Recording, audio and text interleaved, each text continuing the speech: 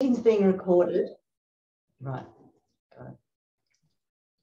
Okay, I'd just like to begin by acknowledging the traditional custodians of the land on which we, we are all meeting today and pay my respects to elders past, present and emerging. And thank you all for joining us. Um, I don't know, I'm a little bit over Zoom meetings, but once I started, you know, we got into planning this, it was getting quite exciting. So I hope you have a good day. Um, everything will be recorded until general business and general business will be an open and free discussion that won't be recorded because it worked quite well last year. So I'd like to welcome our first speaker, Elizabeth Humphreys. Dr. Elizabeth Humphreys is a senior lecturer in social and political science program at UTS. Um, she's a political economist interested in the impact of crisis and change on workers. And her recent, her current research includes the impact of climate change on workers, the 1970 Westgate Bridge disaster and the impact of neoliberalism on Australian unions and labour. The session this morning is going to be slightly different in that we've got questions that we're going to ask Elizabeth about research and using archives and local studies collections. So the questions um, I'll read out the questions. I will read them out from the piece of paper. Elizabeth will address them. And then if you've got any other questions, feel free to ask. So, um, Elizabeth, first question, and I'm sorry I have to read this. In the podcast Archive Fever with historians Yves Rees, Rees and Clare Wright, they asked guests when the archive bug hit them with some really interesting responses. So, when was that for you, and what archive did you first visit? Yeah, I've been listening to Archive Fever over the last few weeks. Um, I um, I know both those historians from Twitter, but I hadn't hadn't listened to the podcast. So I've been thinking about this as I've um, as I've kind of been um, hearing other people's stories. And I think it's really two things. The first time I went to an archive was during my PhD when I went to the Butlin Archive in at ANU in Canberra. And as I understand it, your next speaker is from the Butlin ANU right. archives. Um, but it just occurred to me this morning there was something else that happened in in the year 2000, I was in Melbourne, which is where I grew up. I've just lived in Sydney for a long time. And I went to a talk by a woman called Joan Nestle, who was a working class Jewish um, lesbian woman who set up the Lesbian Herstory Archives in New York, which was um, really a collection of started off by activists. And she gave even though it was the year 2000 she gave a slideshow about um, about that archive and what the community had collected over time. And i remember thinking oh yes if you're this was long before my phd if you're an activist in a social movement you do collect all these materials and um, can start to, I guess, keep the history of your own movement. And it struck me as a social movement activist then that a lot of people had individual materials, but a lot of the history of at that time it was the global justice movement there had been the big protests around crown casino for the world economic forum that most of and a lot of that history would have been lost except for the fact that the state library of victoria had um, collected materials as those movements uh, an ephemera as those movements were sort of um, playing out. And i guess it struck me that there is these, or can be these in, interesting collaborations between academics, people who manage collections and libraries, and ordinary people who are, you know, creating history um, sort of in that moment so that future generations of scholars and interested parties can um, can look at those materials. And so it means, like, of course, when I think about going to the Butland, you're enormously grateful for um, the union staff and archivists and probably just random individuals in those unions who collected materials over time, not just official minutes books, but the, the like the the the ephemera and the more messy stuff of history that doesn't make it into the minutes of meetings And then, of course, obviously, the enormous effort from the Butlin to put together that incredible um, resource. The reason I even knew about the Butlin is because um, one of my friends had been the archivist at, um, at the Butlin, Butlin Archive and was involved in the campaign to retain the Butlin when ANU looked to close it. So I've also, that really, that um, first time, because I'm not a historian, I'm a political economist, so you're not always um, going to be looking to archives. I had really relied on interviews as my main method. But, you know, God, I love those first weeks in the Butlin, having that dedicated space, um, staff to assist you, resources, you know, and you're immer- immersed like you're trying to make every moment. You probably know, when people come, have to travel to go to look at materials, every second that the library's open, you're at that desk madly trying to go through materials. But like I absolutely loved that first visit to the Butlin. That's great. Um, you have used a range of archives and collections across several states and territories. Can you tell us a bit about the various collections you have used? Oh yeah, it's um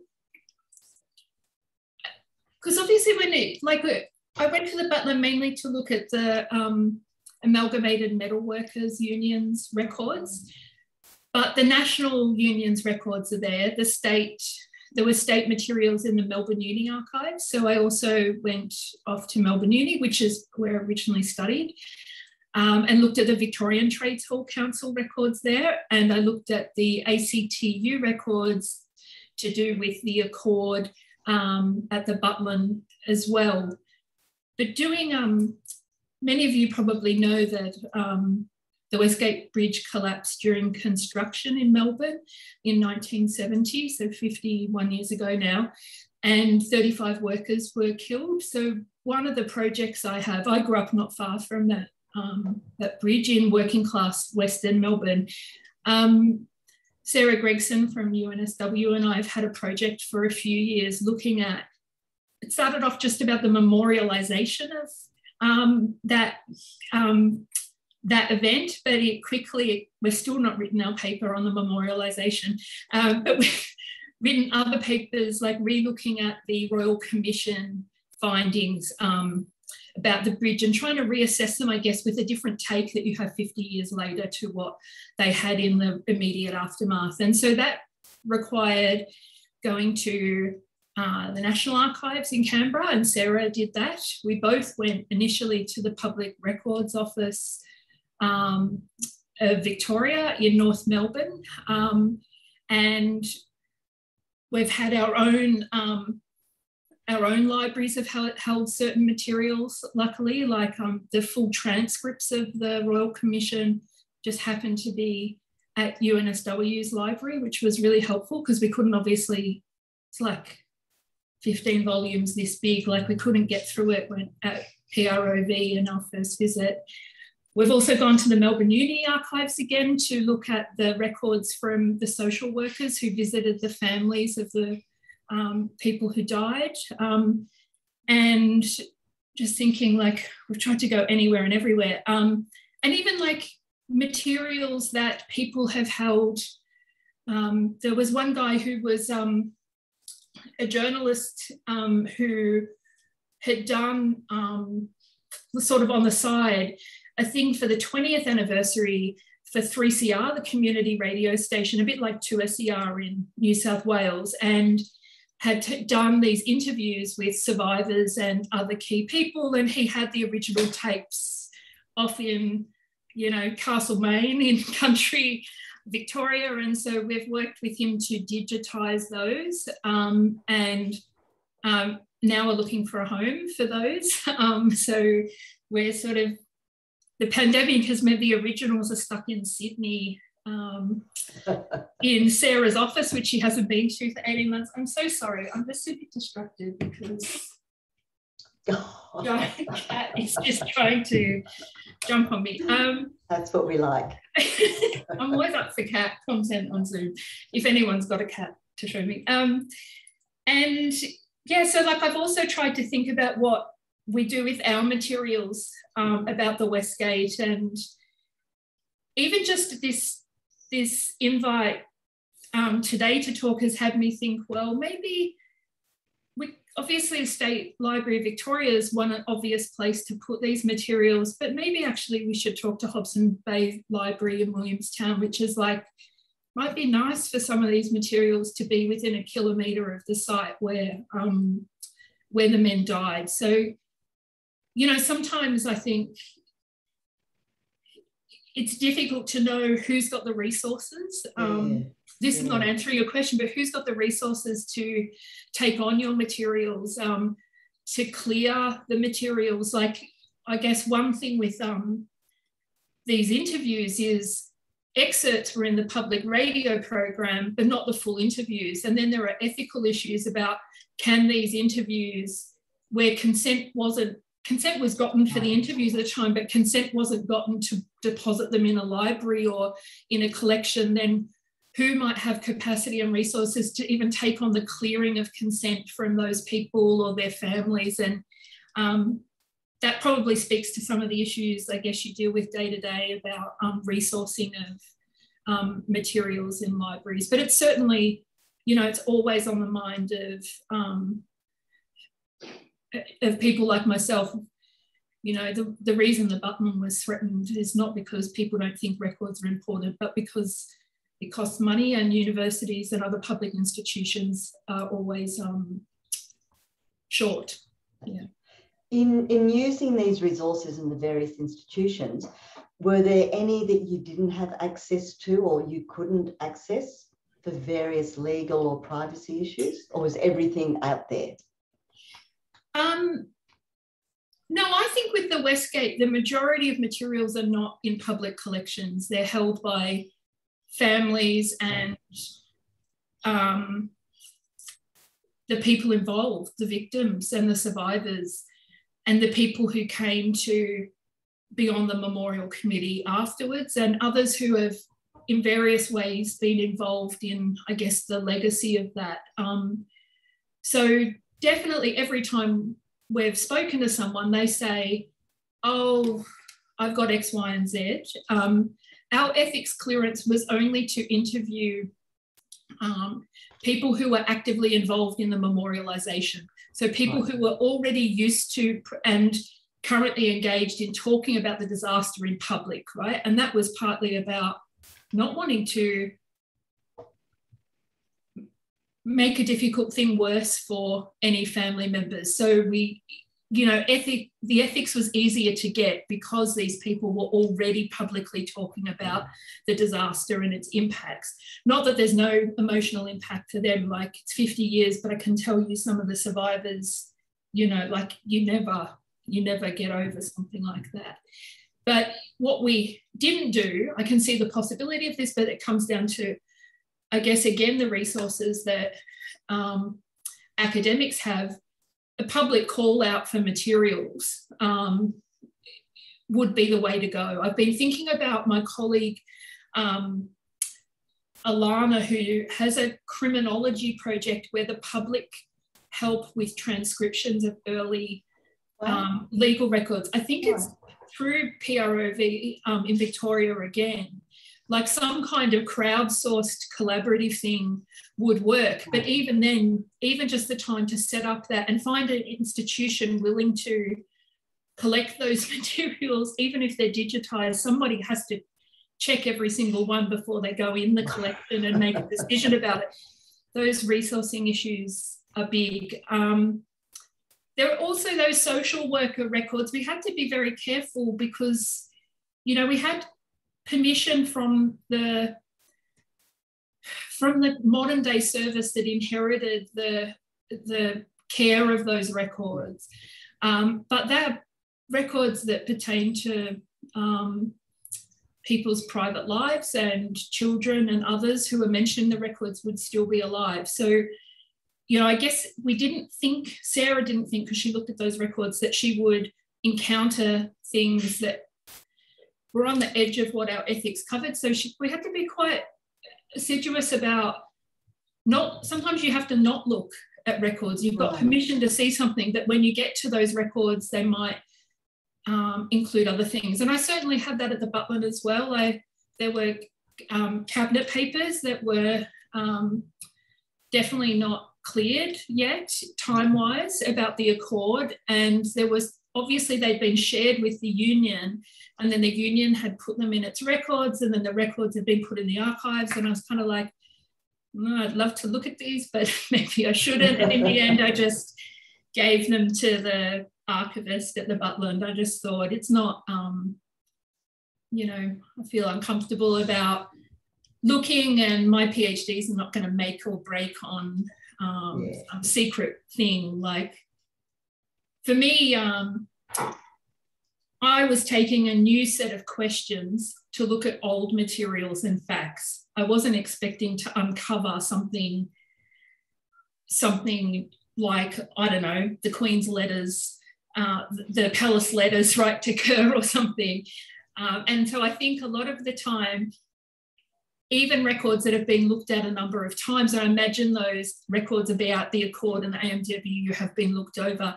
Sometimes you're just taking a new set of questions because history is not just about those collection of facts, but what, what do we think today of those um, of those events and how might we have a different take? Same with the question of memorialization. Like the key thing for us, we just keep we have to wait for the 50th anniversary celebrations, and COVID has cancelled them twice. So one, we can't really finish that paper about memorialization, but one thing is like memorials, like the one with the Westgate, are like a plaque on the bridge. In other countries, memorials sometimes get moved or taken down. It's harder because that one's on the bridge, but you know, society changes and its take even on a disaster like that gets reinterpreted and reimagined. And I guess that's one thing we've been thinking about how and that's where archives and collections come in. How do people understand that memorialization when that memorial was set up? And then what what's the meaning today um, 50 years later and how's it changed over those time yeah. that time? Now that's very interesting. Thank you. Um, oh okay. So the other next question. You've been doing some research about fairly recent industrial history as part of your Hertzberg Fellowship State Library and your Westgate project research. Oh, we've already sort of covered that, haven't we? Because we've what are some of the resources you've been using for this? So oh, you've sort of covered that, but um, but it does help us as public librarians think about how we collect and what we collect. Um, so that's sort of been covered. Just on that, like obviously I've been conscious that most of the collections I've used are not um, public library collections. Right. But I had really, I guess, um, kind of jumps back to your question. I would have dearly loved Hobson Bay Library to have a collection about the Westgate. Yeah. I think the lo- I know from growing up in Melbourne's West that your relationship to that disaster and its impact is very different to those who live on the other side of the city, some of whom I've met academics who've lived in Melbourne, born there their whole life, and have, have never heard about the Westgate disaster. You could you you just couldn't have grown up in Melbourne's West. Like everybody knows where they were when the bridge came down. People heard it at local primary schools. People knew families whose parent, uh, whose dad was um, killed or injured, and so I think I think it, although that is the largest um, disaster in construction in Australian's history, and probably the outside mining, the largest disaster ever. Yeah. Um, you there's a very specific local component to to that, and you know, if I I don't know, maybe when I retire, that's sort of the project you think. Well, could you play a, a useful role in helping collect materials, not for my own purposes, but yeah. um, for for scholars in the future and just just members of the public. Like i you know i think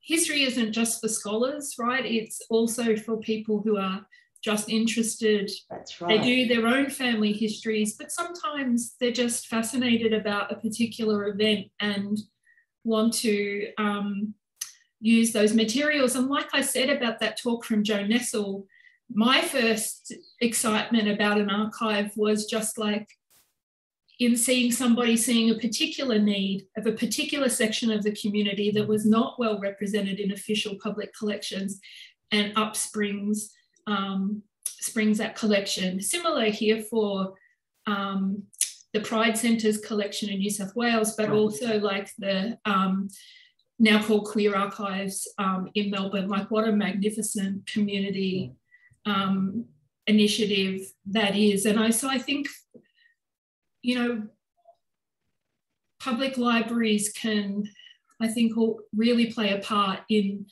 Um, it's not just things that say the State Library of Victoria wouldn't collect. I think actually different things would be collected by a local library. Yeah. That, my that would be my thoughts. Um, yeah. And we do we do collect different things. We collect things specific to a community and the local community, and we try to provide as much information and resources and ephemera that we can so that people down the track like you can come in and research an incident. And it just made me think of the Granville train disaster in Sydney. I'm just wondering now if the library in Granville has been collecting stuff or has people's stories because again that's another story that that Donna it's Donna. Yes, yes. It's Jane here from Cumberland, and yes. Granville's in our area. Um, the issue with Granville is that it is a branch library, and right. it was with Parramatta Library back when the Granville train disaster happened. Okay. So, um, so although there are some resources in the library, there aren't a lot relating right, to the right. Granville train disaster. But Parramatta had, didn't actively collect, collect anything. Well, they might have done within that would, would be at the main Parramatta right, library, not here. In fact, yeah. is on, she might be able to add something to that. But yeah, I, as I said, now since the amalgamation, it's part of our library service. So we have some materials relating to the disaster, but not a huge amount. Yeah, yeah. No, that's yeah, great. no, we, we did, we have some books and some other stuff and a couple of oral history stories, but a Granville Historical Society was very active at that time. Oh, right. And they have heaps of information. Um, and yeah, they, they were the base, basically custodian and, and they have published a book as well, uh, yes, which they have given, right. like we assisted them. Yeah, yeah, so yeah.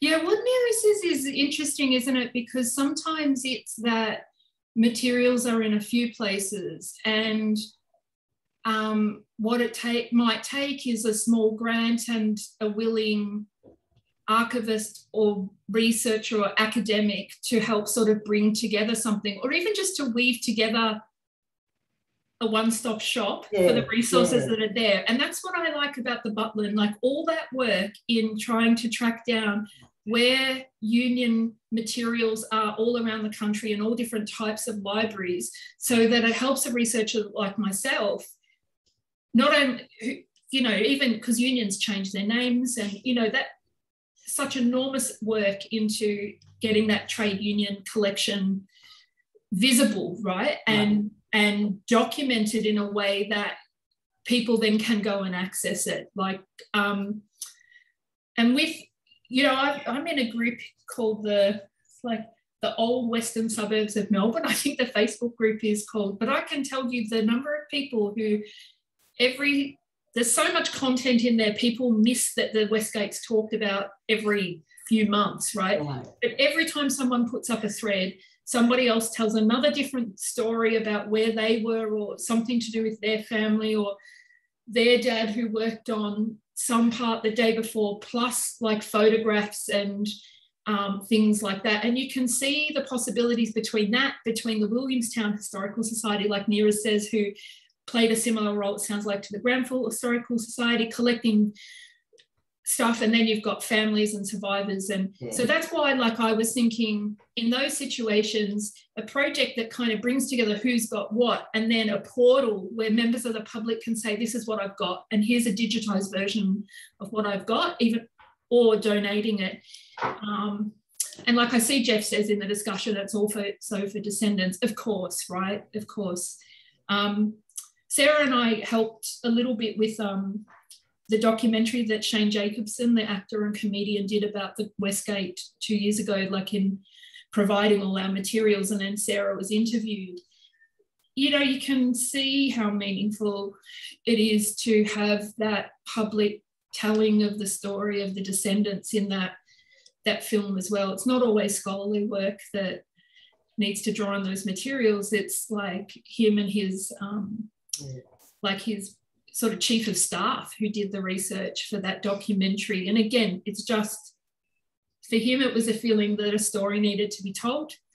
How were they going to collect the information in order to do it well? Yeah. Um, yeah, so I think there's that that other role for like providing materials for cultural in institutions. Um, yeah, important. Okay, so working in archives is often a mix of the deadly dull and the unexpected. Can you tell us about the most mem memorable moments you've had? Some of it is deadly dull, but I have to say, I worked for the New South Wales Ombudsman before I was an academic. And so we would go and do inspections of prison records and, mm-hmm. um, like, you know, juvenile justice records for people who are on high risk. You know, you're looking to check that somebody's gone and checked on them every t- five minutes or 10 minutes.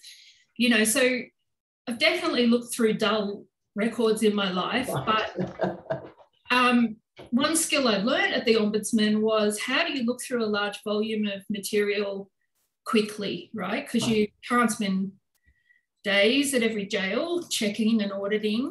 Um, and it really helped me when I became an academic because I'm super fast, right, at looking through records. And if you're traveling, it's expensive and um, was a good skill. but I think, um, God, I think the most memorable thing that happened was at the Public Records Office in Victoria. Sarah and I took a trip to Melbourne and um, we had, I think we had 10 days. Um, and we knew the transcripts of the Royal Commission were there. And so Sarah took that job and I took the job of looking at all the, uh, any other record I could find.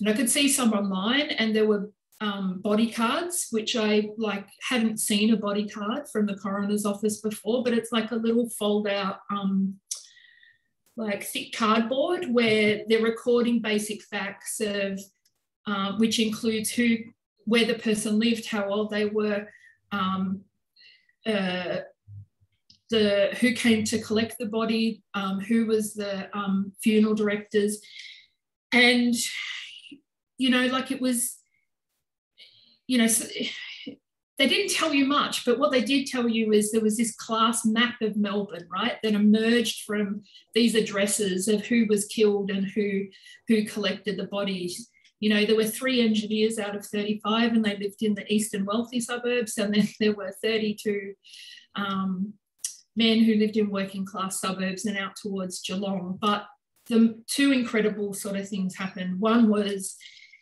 at the end of the day, I could see that I was then getting through all the photos that the Royal Commission had um, had. There were like a few from the site and other things, but there was a booklet that I can't even remember what was on the front, but I just knew it was going to be photos of the bodies um, on the inside. And I had to, I really was thinking like, should I look at them or is that voyeuristic to look at them? Um, like, was like a I don't know uncomfortable feeling. And like I so I showed them to Sarah and I said look this is going to be X. And she was like yep. I said I don't know whether to look at them. And she just sort of nodded and she just looked through them and then she handed them back to me. And I looked through them and I was kind of they were horrific um, but also some of the bodies were so undamaged right? But you it's one thing to say a catastrophe has that kind of impact, but it's another thing to, I think, see see it visually. And I was so glad I looked at them because I think you, I only really understood the weight of that event in seeing the damage. Uh, it's hard to explain, but also it's one thing to say some of the men were 18 or 19. It's another thing to see the age range, right, um, of the men from old to young and like I still I still think about like what if I'd not looked? I would I think I would have had a I would not have had the same relationship to the topic or the research oh. if I hadn't have looked. Mm. The other thing that was in the files is like when you talk to people about that disaster, they always talk about um, the mud, right? As the as the huge pylon came down, crashing into the wetlands, like it threw mud enormous distances. So there were cars, the worksite was covered in mud. The survivors talk about it being freezing cold and they're still searching for bodies in the water and they're covered in mud. And then I open up one of the body cards and there is a little, like it's like a teardrop shape, right? And I've rec- I recognize it from the photos that it's the number that they had to put on some people's bodies because they couldn't identify them. And it's still, it's covered in the mud, right? And you just,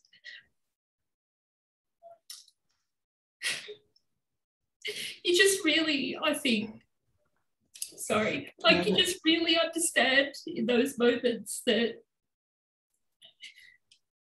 these are real people who died. And I think you have this enormous responsibility to, to, um, to the research, um, to do, to do um, those people justice, I guess. Like it's a funny feeling because as an academic, you're meant to be a bit separate and examining the facts and presenting them in a particular way. But like, gosh, you sometimes the records just stay with you, yeah. you know.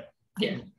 yeah. Thank you so much for oh, sharing. Oh, sorry, I've just I've never actually said any of that out loud. So you kind of like don't realize what an impact it's had on you. Thank you very much. Um, do you want a moment before I ask you the next question? Oh no, we better probably move on or I'll keep crying. um, okay, so the next question is what sort of tech setup and process do you use when in the archives to ensure good practice? Nice oh, yeah. question. this is a great question to follow up with.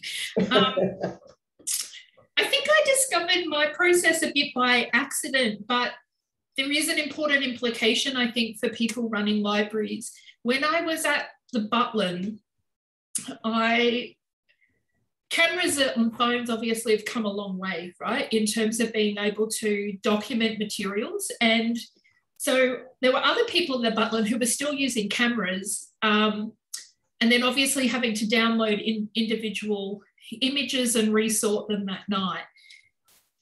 The beeping is annoying, right, in a very quiet library of those cameras. And I think older people don't know how to turn their beeping off on their things. But the great thing about camera phones is that there are apps like Cam Scanner or Google, um, Google, can't remember what it's called, Google have, have one as well where you can take multiple images and turn them into a PDF on your phone.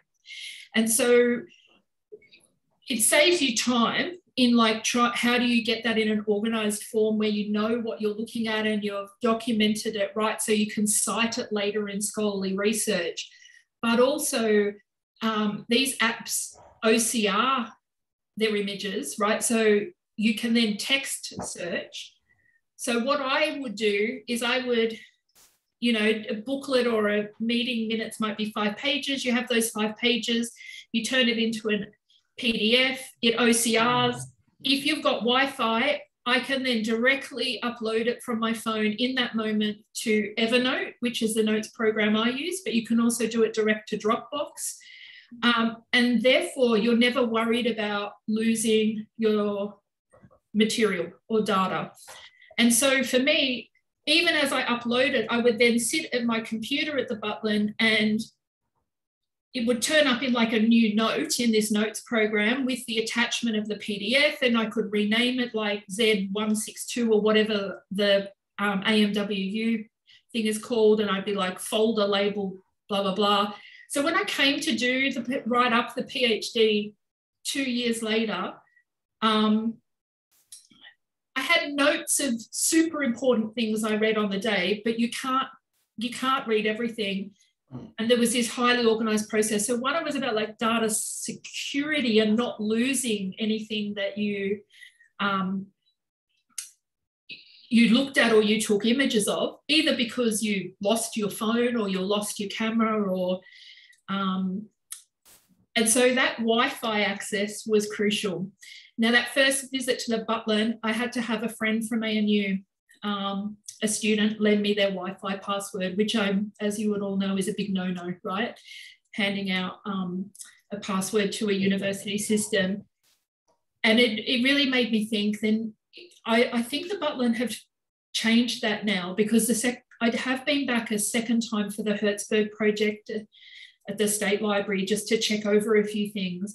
And I'm pretty sure they had public access then. Most libraries would have public access, but it's a real lesson for universities where they're much more restricted sometimes about who can log on to the Wi-Fi that actually can prevent a visiting researcher from like having good data management practices because you can't access the cloud necessarily on your phone when we're talking huge like those sorts of files and photographs are huge size images um, most people would bust their data limit um, in the space of a week or two visit um, so for me that i've seen other people have just terrible tech setups and i've not been able to work out why um, and I worry, I worry they um, they spend all this time later. And Sarah, my collaborator, is a bit like that. She doesn't know how to upload photos more than one at a time to Facebook and things like that. So it's a real skill, I think, that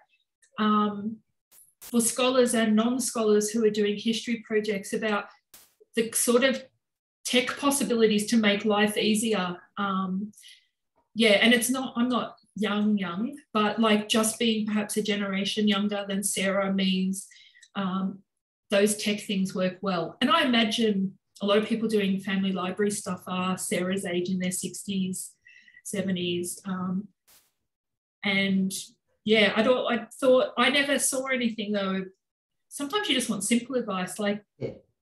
how do you use a Zoom machine to actually record an oral history or like, how do you actually upload things and store them in a way that's helpful for coming back to them later. Okay, thank you. Um, okay, what do you think makes a good archive or local studies experience for a user? Could you say that again? Sorry, Dora. What do you think makes a good archive or local studies experience for a user?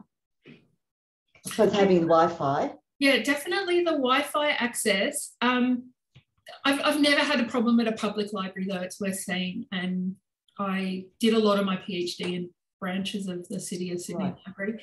Um, the space, because um, often you're like, for me, it was computer, um, you know, notes, only pencils in the Butlin, um, boxes, you've got a trolley with boxes, and I, it's a real blessing at the Butlin or at the State Library of New South Wales. My God, like that reading room, um, incredible. Um, so I think, yeah, that sort of space to actually um, uh, do things.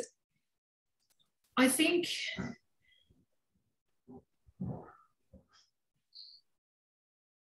And someone to ask questions to. Like, I think Right. This is more true of the state library, but I understand why this is, but their catalogue is really confusing. Um, and I wouldn't say I'm in, my brain works well with catalogues. Um, and so it's a bit of effort for me often to work out, even at the Butlin, like how are these, how is this system working, right? So that I know how to go and search. And the, the definitely the state library staff had to really hold my hand for a while to search through the layers of their their catalogue um, to make it work. So, um, you know, you can't. I couldn't have gone through all the records I did at either place without that kind of advice, even on either on the spot or, like I said, with the Butlin, those documents that tell you where everything is, where you can you can actually click through the layers of the union under different names and different years, and then it'll tell you where stuff is. That um yeah and not everybody's brains work the same yeah. right? So i think sometimes what can be really plain to librarians about how a catalogue works are just absolutely obtuse. Um, and that was my experience at the state library well i must admit i've had trouble with the state library's catalogue so it's everyone has problems. I think it's interpreting or assessing or finding. Um, so just one last question. What is your favourite collection that you've used? Oh my God. Isn't that a bad question? Um, it doesn't have to be because it's fantastic, but maybe because it provided you with the most information or was, was the most useful. It's a hard question, yeah.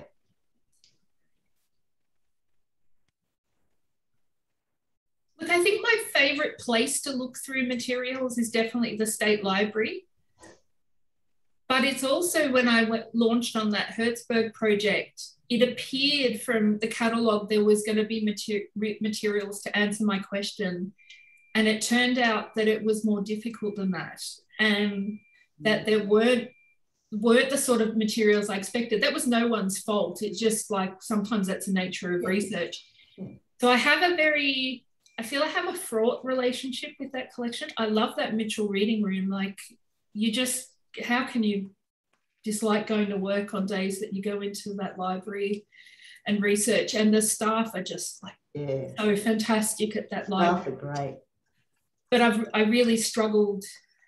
It wasn't like my other projects where the materials were just there and right. you found them. And so, um, you know, I had planned to work, you know, we got ethics approval through the State Library and UTS for an oral histories project to add interviews about with metal workers to their collection to sort of help help answer my project, but others. But it's been two years of COVID delaying that now, and I feel like, you know, I've got other, I've already, I've got a full time job that doesn't let me jump back in time yeah. to do work that was taken by COVID, it's a bit of a dilemma about how to now uh, progress with adding materials to that collection. Um, you know, when my bosses are telling me to do other things. Yeah. Okay, well, thank you so much for this, Elizabeth. It's been it's been great. But does anyone else have some questions for Elizabeth? We've got a bit of time. Ellen's saying, "I know our catalogue is different." It's it's not just that, like literally a question of like how people's brains work sometimes. And so I often feel like it mine works so well with certain things. Um, like recording my materials and knowing how to access things because I can adjust that system entirely to how I think about things. But sometimes I encounter catalogs or um, policy policies at uni where like the way that they're set out just doesn't work. It's it's always good to realize that you don't think like others because it helps us all do our jobs better in trying to communicate things in ways that are accessible so any questions from anyone any uh, yes um, donna this is um, angela from Ryde library i have a question um, when you see the the level of grief and the need for memorialisation that has happened as a result of the Westgate Bridge disaster. Do you then think about memorialisation and grief after something like the First World War? As do you do you now have a different perception of how the population would have coped after the First World War? Um, yes and no, right? Like I think we all have that abstract, more abstract realization about how horrific war is. And you can, we all hear through the news or life facts and figures, how many people are injured, how, what the level of depression and post-traumatic stress disorders are after those events. But I think that it's something quite different if you're say an oral historian and then you're going and doing interviews with survivors and families and i think the thing about seeing the photos in the archive was well, one to remember that all of us have to deal with sensitive material, right? And that risks are not just about the people you interview, but also to yourself, right? And managing or just being prepared. Like it's not about not doing those things um, or finding ways to process them. But so I feel like there was something qualitatively different between knowing the story and then being much more directly exposed. Another very curious thing happened. Like my mum's best friend was a funeral director and in Williamstown in Melbourne and moved in the 70s to the Sunshine Coast in Queensland, where they're again funeral directors. I didn't know that this close family friend, um, who, who's still alive, um, in his 80s, had actually been one of the funeral directors that collected bodies from the site, right? But it just shows you how doing this research, think I have no family connection, talk to my mother about it multiple times, going to the archives, even the day I saw those images or the day after, I was then at my mum's that night. The phone rings, I pick it up. It's this woman, Jeanette from Queensland. And I say, she says, What are you doing there? I said, I'm doing this. And she said, Well, you know, John went and collected the bodies when he would have been about 20, working with her father. Um, and I, I thought for a while after, would I interview him, right? About going to site. And I decided no on that occasion, right? Didn't have the didn't fit the ethics, but also probably unnecessary for the research, maybe traumatic for him, and probably, you know, I was feeling a bit like, you know, you've got to manage your own situation. And so, like after seeing those photos, I wasn't upset. I was more just, I think like it's just this level of realization about the impact of a historical event that still reverberates through time, right? And so it was like, no, actually, I'm not gonna, I'm not gonna talk to him about it. I'll just sort of leave it there. If he, you know, if he wants to talk to me, he can. I think that I think about when I, I did some oral history, history training with the, you know, New South Wales Association, and the presenter had done a lot of interviews about um, the sec- First and Second World War, I think. Um, but then again, I just I can hear what he said, but it's totally different when you hear it from somebody directly. I think you have that, and mm. you have emotional involvement that's different. Yeah. Mm. Thank you. Any other questions, comments? Nira said, yeah, it's called Microsoft Lens. Yeah. When I was at the State oh, Library, one of the staff actually was like, why are you using this cam scanner thing? Microsoft Lens does the same thing. Yeah. Okay, well, thank you so much, Elizabeth. No worries. That was very interesting. And thank you so much for sharing your story. Thanks, Donna. My pleasure. Like, you know, it's um I love librarians. No, it's true. Um, I you do academics couldn't do their jobs a job like the like mine with my kind of research without this layer of professionals.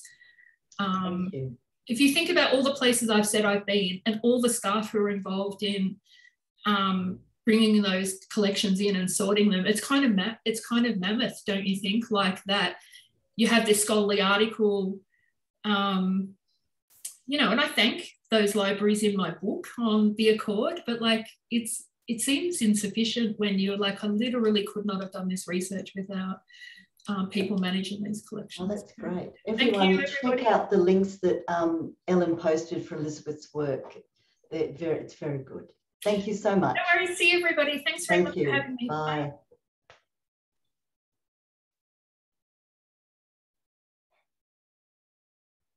Um,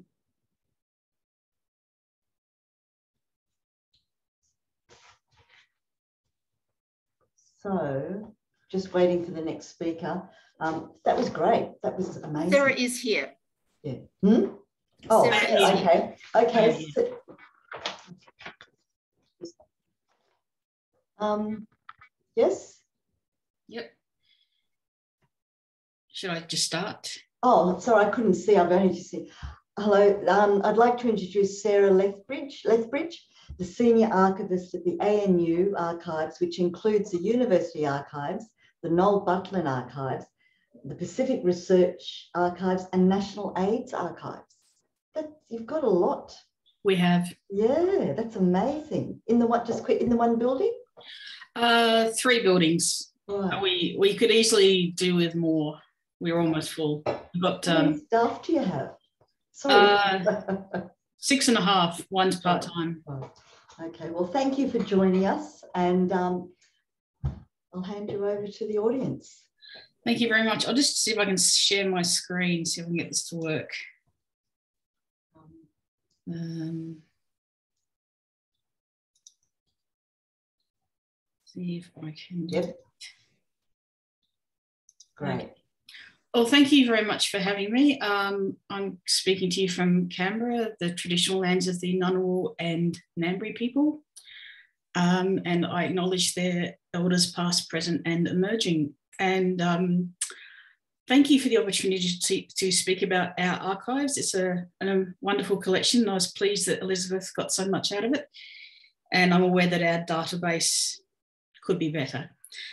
Um, so today I'd like to speak to you about some of the records that we have, particularly the archives of business and labour and the records about hotels. Um, we've got a large collection and you might wonder what is a university doing with all of these records? Well, in the 1950s, Professor Noel Butlin, an economic historian, and his colleagues set about collecting uh, primary source material for their research into 19th century Australian economics, which was predominantly the pastoral industry. So I've got lots of records. Um, uh, our earliest collection is from the Australian Agricultural Company, which is was very active around Port Stephens and Newcastle. So, yeah, as um, Donna said, there are four collecting streams. Um, we've got uh, about 22,000 shelf meters of records and are still growing, um, overflowing in our space, but we're trying to get some more space um, because we never want to say no if we're offered a, a collection that fits our collecting policy because it might get lost. So yeah, there are four collecting streams, and Noel started it. He started off collecting the company records, and after a few years, of business research. Well, the, the, other side of that story of business is labour. They need each other. So I started acquiring trade union records um, from the ACTU to waterside workers, Seamen's Union, coal miners, all sorts of things. And we're focusing on nationally significant companies like um, CSR, Burns um, stock exchanges, we got a lot of huge collection from the um, Australian Securities Exchange, which included the Sydney Stock Exchange um, a few years ago, which we're still working on. Um, federally registered trade unions and their branches, professional associations. So we're not just business and labour, the, the basic companies and trade unions. We're also the the advocates. So we have some New South Wales Farmers Federation and we also the Institute of Public Affairs, um, some of their records as well. So the idea is that you can look at a topic from different perspectives, which is always what you want to do. And a lot of activists, either connected with the trade union movement or AIDS activists or others who are interested in, in various uh, elements of, of social justice. So I'm focusing today on New South Wales, obviously. Um, so we'll have New South Wales uh, head head office, so the, the New South Wales branch of the waterside workers or Seamen's Union will have a lot of their records.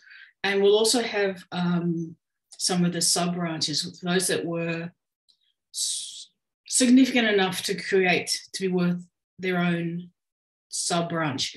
So for the waterside workers, Port Kembla um, the, Sydney waterfront, um, just some of the the um, New South Wales based sub branches that, that, were quite significant. Um, we also have New South Wales Teachers uh, Federation, New South Wales Nurses, um, so and, and coal miners, and often there's a bit of overlap between the head office, if it was in Sydney, and often it was, and the New South Wales branch. So sometimes people need to look in both collections to find what they're they're looking for. Um, companies, a lot of the companies had their head office in Sydney. Um, we have a good collection from of CSR records from Pyrmont when they were based there with the sugar refinery.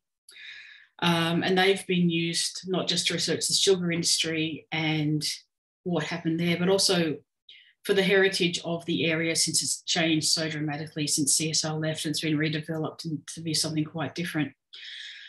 And some of those records of CSR are particularly useful for people who are researching um, family history. There, and a lot of our records are. Um, a, a, lot of the staff and the union member members, if they particularly if they were blue collar workers, they didn't leave a lot of written records, didn't necessarily keep diaries or correspondence and often the only place to find a trace of them is, is of them either being a member of a union or um, being employed on a production line for CSR at Pyrmont, where you can get to see what they did, how much they got paid, how much, how old they were. Um, one thing I omitted here, it's a serious omission, um, is the friendly societies. So before a lot of the friendly societies have evolved to become insurance companies, and Australian Unity is the descendant of a lot of them. So we have Grand United Independent Order of Odd Fellows. If you know about the uh, friendly societies, then um, you'll know that they were based on a geographical area and they provided some sort of support, lodge meetings, help with paying for funerals, help with getting medical care. Um, and sometimes they've got really good collections of information about the people in that in that area and the activities of the Friendly Society. Um, they're not a record that gets a lot of attention, so we're trying to promote them um, more because they they've sort of, people aren't doing that sort of thing anymore and have moved on from it, and it's not at the forefront of researchers' minds. But particularly for genealogical research, they can be quite useful. Um, we have Mort Stock and Engineering Company, lots of uh, records about them. And in a company um, records, there's records of the activities of the company, the some of the employees, and their um, there are also can also be records about the built environment, so the fabric of the building, the general area, and particularly for things like Lake George Mining Company near Captain's Flat near here, and the pastoral companies. Um, there are a lot of maps and plans, design drawings, not always. Um, some of the Tooth and Company records, we have got plans of the building, but I'll get to Tooth and Company on its as a separate um, entity in, in a minute. Um, so on the uh, the slide, which I'll give to Donna to circulate, there's a hyperlink to our open repository, our online repository, which we put digitized records on so anyone can get them. They're free to, to anyone. There's no cost to download. Um, I should say also we're open to any, anyone, despite being part of the university, we're open to anyone, anywhere, um, which is one of the good things about being um, a public institution where and senior management are all very keen to share what we have as widely as possible so it can be used for all sorts of research from family history to academic to publications. Um, so I was going to show you the, the, maps and plans, but I think I'll wait and show you our online repository as a whole in, in a few minutes. Um, so this bit of a, an idea about what we have in the companies and Tooth and Company, which I'll focus on a bit because every area has a hotel. Um, it's one of our biggest and most popular collections. Um, so Tooth and Company is a bit of its, its overview uh, from 1835 when they opened the Kent Brewery in Sydney. And I went to UTS sometime in the pre-COVID world. Um, and was interested to see that the facade is, is still intact with its white horse off across the road from, from UTS in um, in Sydney. So it's a, a, an example of a very long-lived company with, fortunately, a great collection of records. Um, a lot of organisations don't keep their records not out of malice or anything, but because they don't see the past as um, having anything to do with what they're doing in, in the modern day, which is a bit sad. Um, but other companies do see that they, they draw on their heritage for promotion um, and are very happy to have their their archives and draw on them constantly to remind their customers and the public that they have a long history. But fortunately, Tooth and Company kept a lot of their records, um, and we've got a lot a lot of their um, the history, particularly from um, the 1920s when they started buying and building hotels of their own. So up until then, they'd been very involved in brewing beer and then just letting the distribution be a separate uh, area. But then I think the correct term is vertical integration. Uh, you have the product and then you also have the, the way to distribute it. By owning hotels, you tied them to yourself. You tied them to you as, um, if possible, the sole provider. Um, so Tooth and Company either owned every hotel or supplied a lot of hotels. And for that reason, they've got records about hotels all over New South Wales and a little bit into Queensland as well, border areas.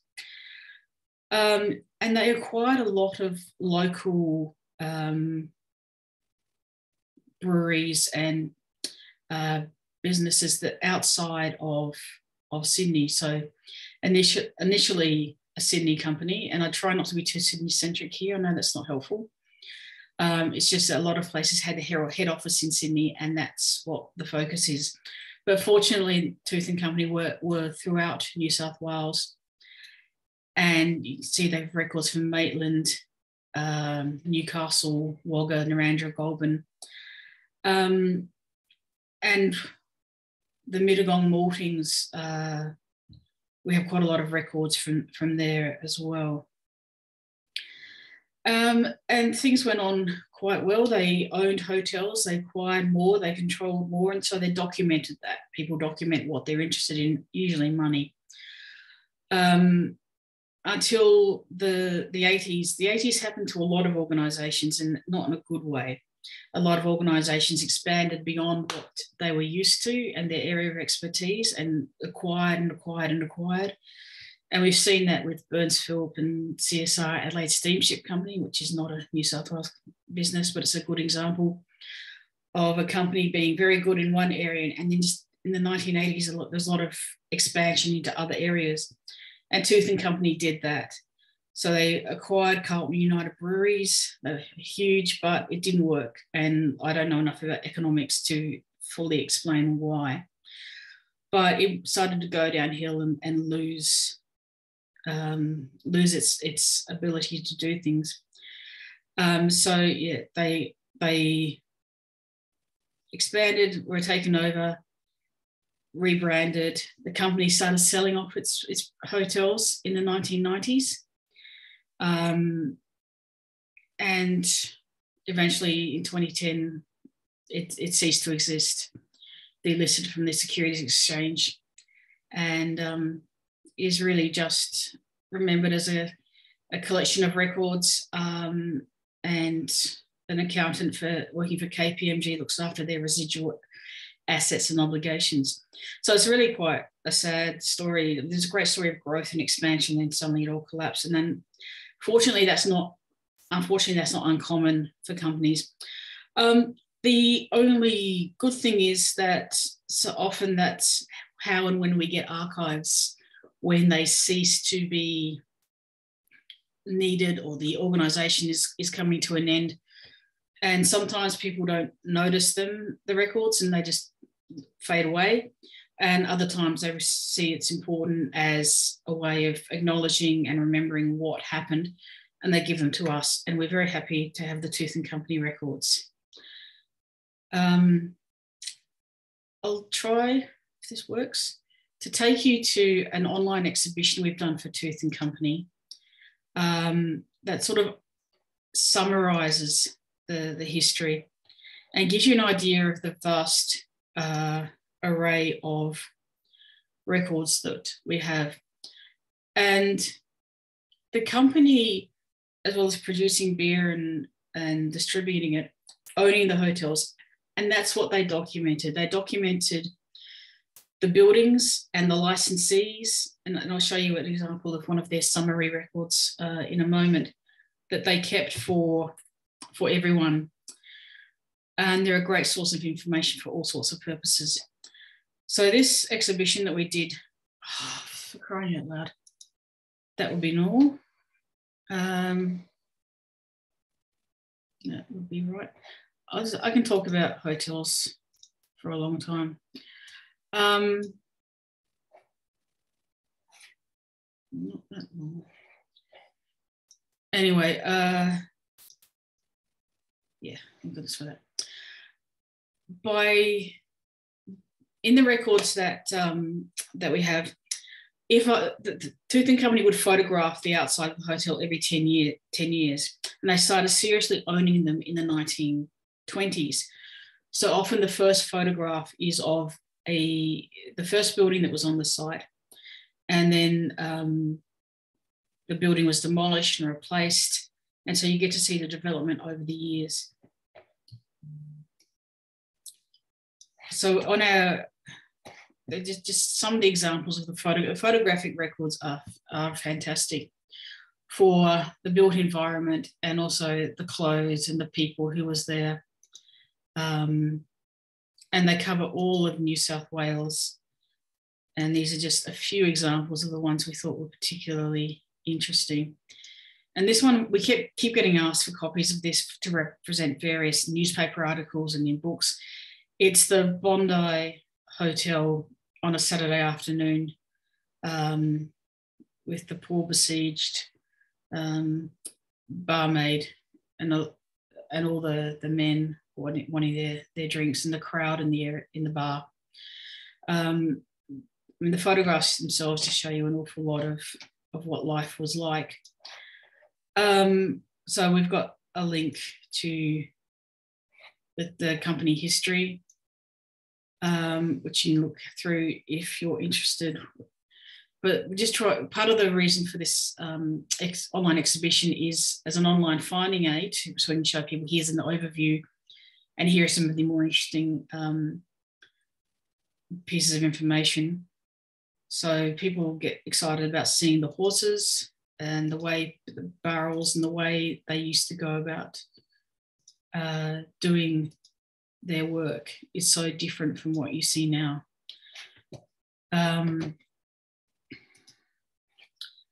there's a bit of information about how to find hotel records. We have some plans um, photographs, uh, drawings. Um, the Tooth Brewery had a band, which we got some photographs from the descendant of one of the band members, which was lovely. And we got some records about who some of the licensees were. Uh, and the advertising is great. It's so good to see, um, not necessarily the sort of advertising that would be used today, but the history of advertising and how uh, the company was portrayed.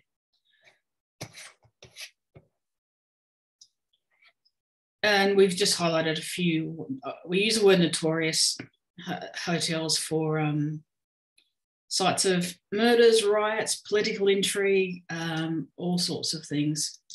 Jerilderie, where Ned Kelly was.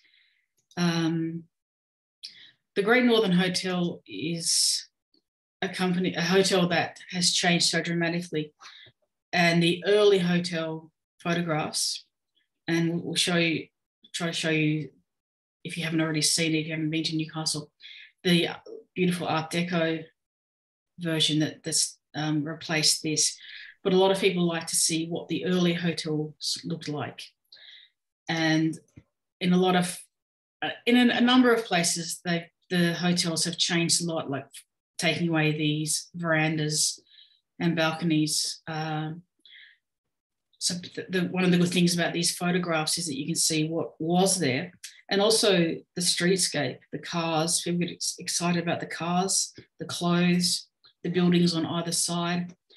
Um, and these, these photographs exist for almost every hotel that Tooth had an interest in. Either they owned it and supplied it, or they were the competition and they wanted to keep an eye on it. Um, and sometimes begrudgingly, they, they, they'd share um, and, and sell their products to a, a Tooheys hotel uh, if they thought uh, business is business. So we have so, some information about that. And one of the things that we've done at Great, well, my colleague did this and it was a very big job, is to try to come, come up with a map uh, based on Google Maps. Pick an area, you can either search for a hotel or pick an area and see what hotels there were and then get a link to the um, the main record that we have please work. Good um, the main record that we have about hotels are these which we call the yellow cards because they are yellow. And they're one of the most interesting tooth and company and most popular. Um, they are a double-sided card. On one side there's information about uh, which about general information about the hotel. Only a certain number were allowed per electorate. Um, the graphs uh, show how much product to supply to the hotel over the years. Um, here there are the names of licensees. And on the back of take to a bigger version. No, I have to download it. On the back of the hotel, the card, usually.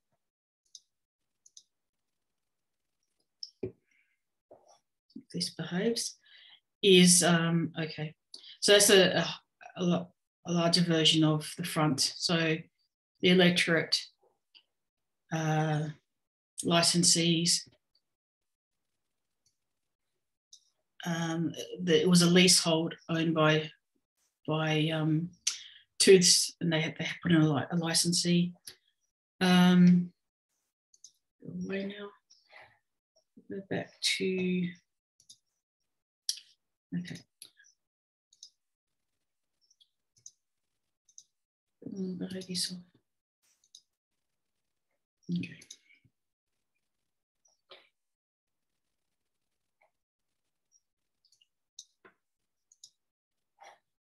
The, the, the, the back of the card will have a photograph. Um, and these are the, the, the photographs that are so popular with all sorts of researchers. Yeah, that's a enlarged version. Um, so we've got thousands of these cards and we had a very large digitization project. Um, to digitize them, to do the metadata, to put them up on the internet so they're freely available to everyone. Um, so yeah, that map is in here in um, sorry So the map that's part of this online exhibition that I'll send, I'll send the slides around and it's doing that again.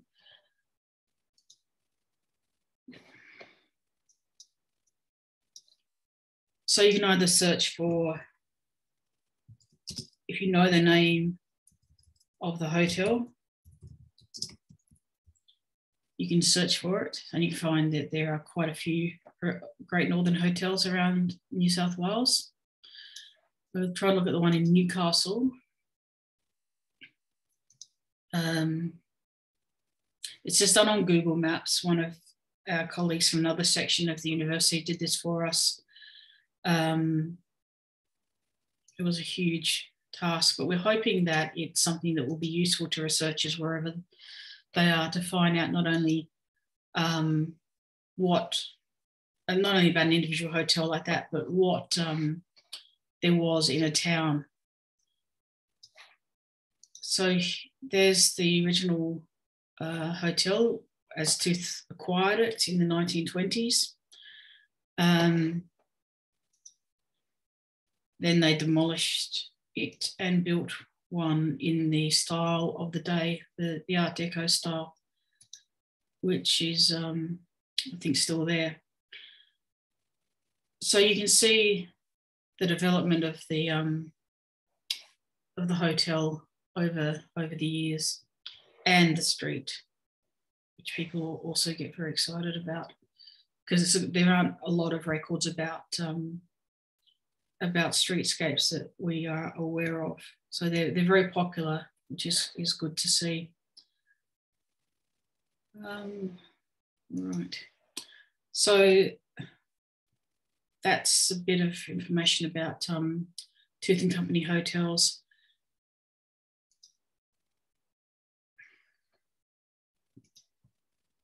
I don't know why it does that. I think um, it's very awkward. So that's one of the things that um, we did as, as archivists was trying is trying to produce an online finding aid, an online way of helping people to find what they're looking for. And it's a lot of work, but I think it's it's been very useful. We've got good feedback from people about um, how it's allowed them to, to find to find um, these smaller um, hotels that some many of which no longer exist, but what was in the in an area and what the places look like. So that's one of the things that we're very very happy to have done, and it's been very useful for a lot of researchers. And it's I mean we we we as a section and also the the university very keen to share information as much as possible. Um, with as many people as possible because it's very it's, it can be a bit, a bit disappointing to find out that someone's been doing a research project we could have helped them but they didn't know about us so we're trying to by having it, uh, everything findable through through a search engine that more people will be able to, to find us and use us um, so yeah there, there lists to the there in uh, links to the general digitized records that we have. So in general for Tooth and Company, please work. We've got a few digitized records and this is our open research repository. So there are advertisements and signs, maps and plans. We don't have plans for every hotel, um, in fact, we don't have plans for a lot of them, but whatever we have, whenever we come across them, we try to put them up on um, the web so people can find them. Lots of photographs from the breweries, events. Um, Tooth divided their records when they kept them between the country and the city hotels. So we, have maintained that. Um, so you, you search through two, two things, or you, you can actually search it above at a higher level um, but one of the things that they have that we've digitized the commuting to um, uh, all sorts of researchers is information about people who served in the war. And lots of companies did that. There are honor boards for World War One, World War Two, um, and the the company had more sort of there's a different relationship often between a, company and its employees where the people stayed for a long, long time. So they put these records up. Um, they, they acknowledged the service of people who had served in the war and if they had had died, they kept note of that. Um, so we've, we're digitizing things that we think will appeal to the major to a, to a large number of researchers, whether they're family history or um, wartime or any any other area. Um, they have some unusual records that you wouldn't expect to find necessarily. Um, so we've we're trying to digitize them and put them out there so that people can see. And often they're the the great and the good of um, of Tooth and Company, um, senior directors, and managers, uh, sometimes groups of employees. And often we don't know who they are. So if anyone ever sees these records and is able to identify people who aren't who aren't identified, it's great if they can let us know. Okay, so um, let's quickly talk about the things that we don't haven't digitized. We have an enormous collection of records and digitization is very expensive. We worked out it would cost hundred take hundreds of years and cost hundreds of millions of dollars to digitize everything. And then you've got to manage a digital record. But um, this is our database and it's searchable through a search engine. And um, it, it, I can understand what Elizabeth was saying and other researchers have said about this means nothing to researchers. Um, this sort of information, it means everything to us who, who manage it. So ideally, we can come up with a way that makes sense to everyone. Um, so this is the first deposit that we got from Tooth and Company. And then you can search, you can either do a report and get a, a list, or you can search for some for, for a, um, a particular type of record. Um, and all of these records will, will come up. Um, I want to show you some of the important records that, yeah, N60. Um, this is an enormous collection. Um,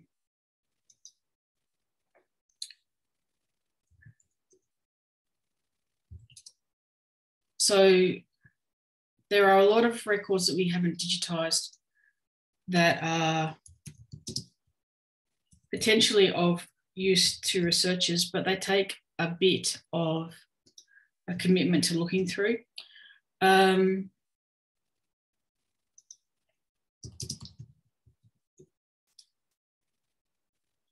so the manager's files and the property files, they're as well as the yellow cards, which are very popular and they give a great summary.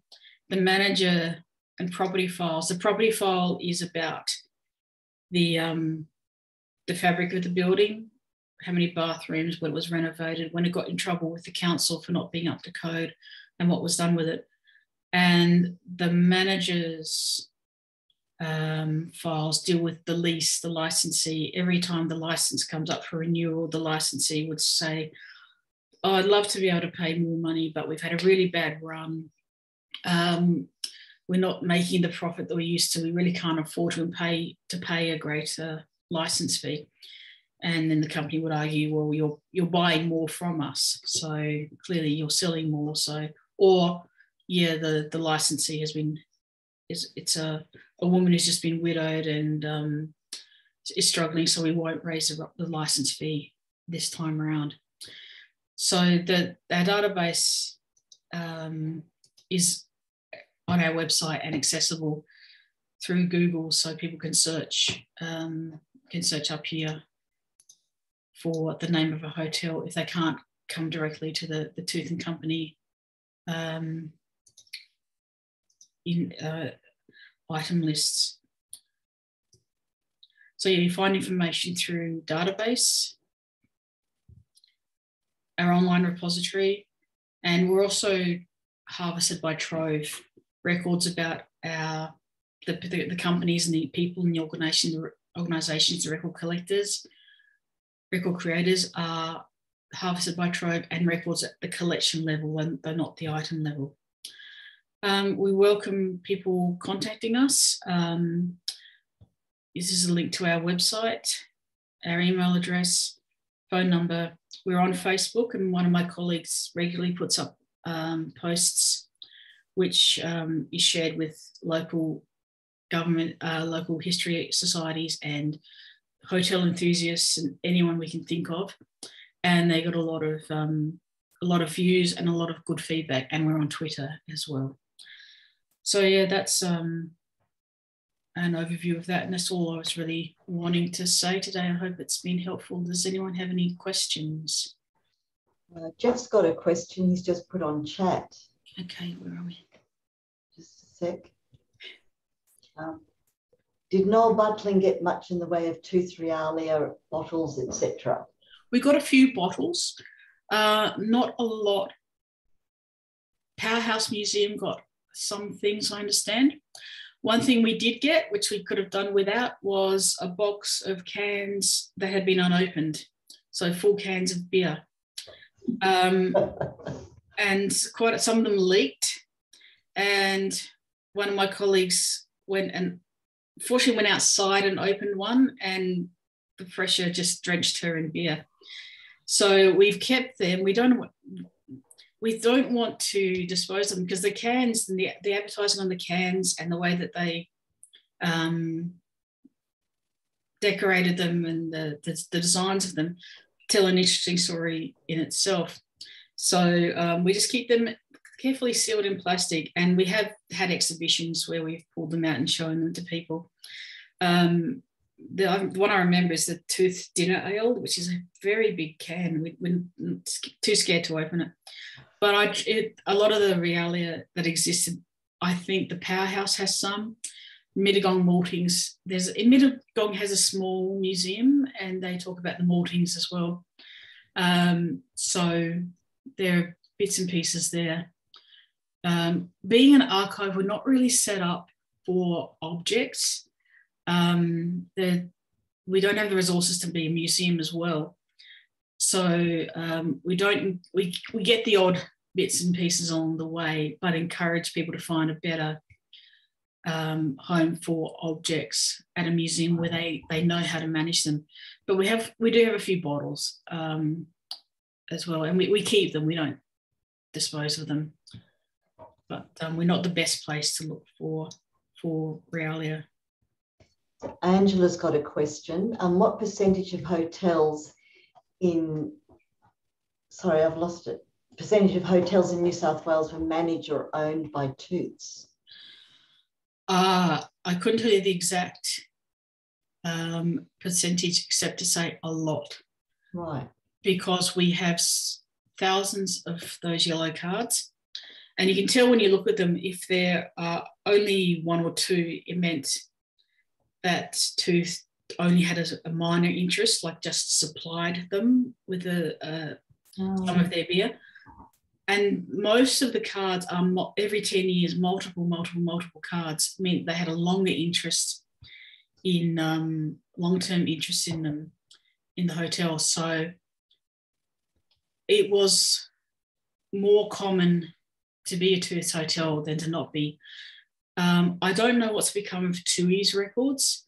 And I was interested to see if I could find out about um, South Australian um, brewery records because the two I, I, used to live live there. The two I remember were Coopers and West End. I think Coopers is still a family owned company. Um, so I wanted to see if they had similar records, but you can't get into their into their um, collection very easily. So I think there are only a limited number of brewers it's not like now where there seem to be um, microbreweries and artisanal breweries. Um, so there are only a small number of potential suppliers to hotels. So um, it's I, I, bet it's more likely to be a tooth hotel than not. Right. Any other questions?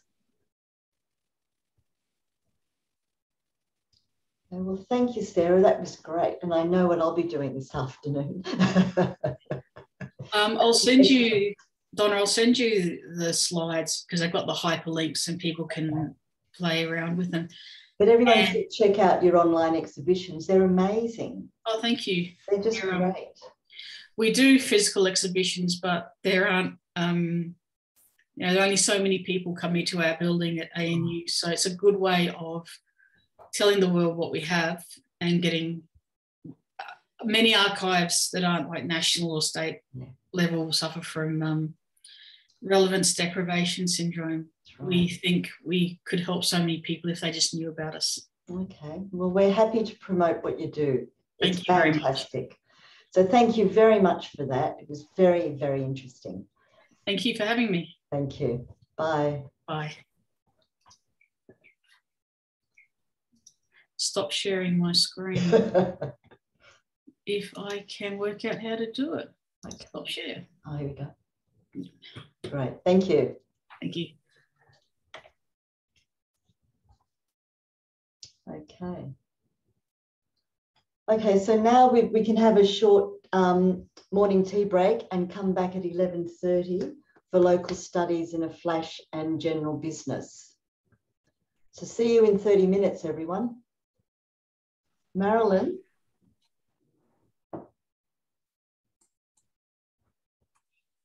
Can't see her. Um, Helen, do you want to go first? Okay, I'll try to. I haven't done this before, so bear with me. I okay. listened to Ellen's remarks, so I'll give it a go. I'll share the screen. Okay, can everybody see that? Yes. Yes. Yeah, great, excellent.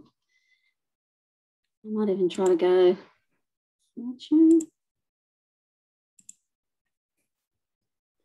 Okay, so thank you very much for giving me the opportunity to talk about the Who Do You Think You Are experience. Um, it was quite unexpected, to say the least. Um, and it was all due to this man, Joseph Springle, who was always very special, but interestingly, never had a very big place in our local history, although um, he's a very big part of it. There hadn't been very much done about him and so he wasn't really all that widely known. So he was a bit more of a footnote than a major player. And interestingly, also, no one had ever claimed him. Um, so there was always a story waiting to be told. And it all began with a photo album. And it was not a very exciting cover, but it was interesting in the sense that it was um, a photo album of um, pre 1900 photographs um, sadly, and I have to say, it came into the collection well before I started, um, had no provenance. Uh, so we didn't know anything about it. We didn't know who donated it or anything about why it was in the collection, other than it was original material, and we were very happy to have it. Um, there was a date, it was 1889, so we knew that much. And the uh, photos of this building under construction was the Oriental Hotel.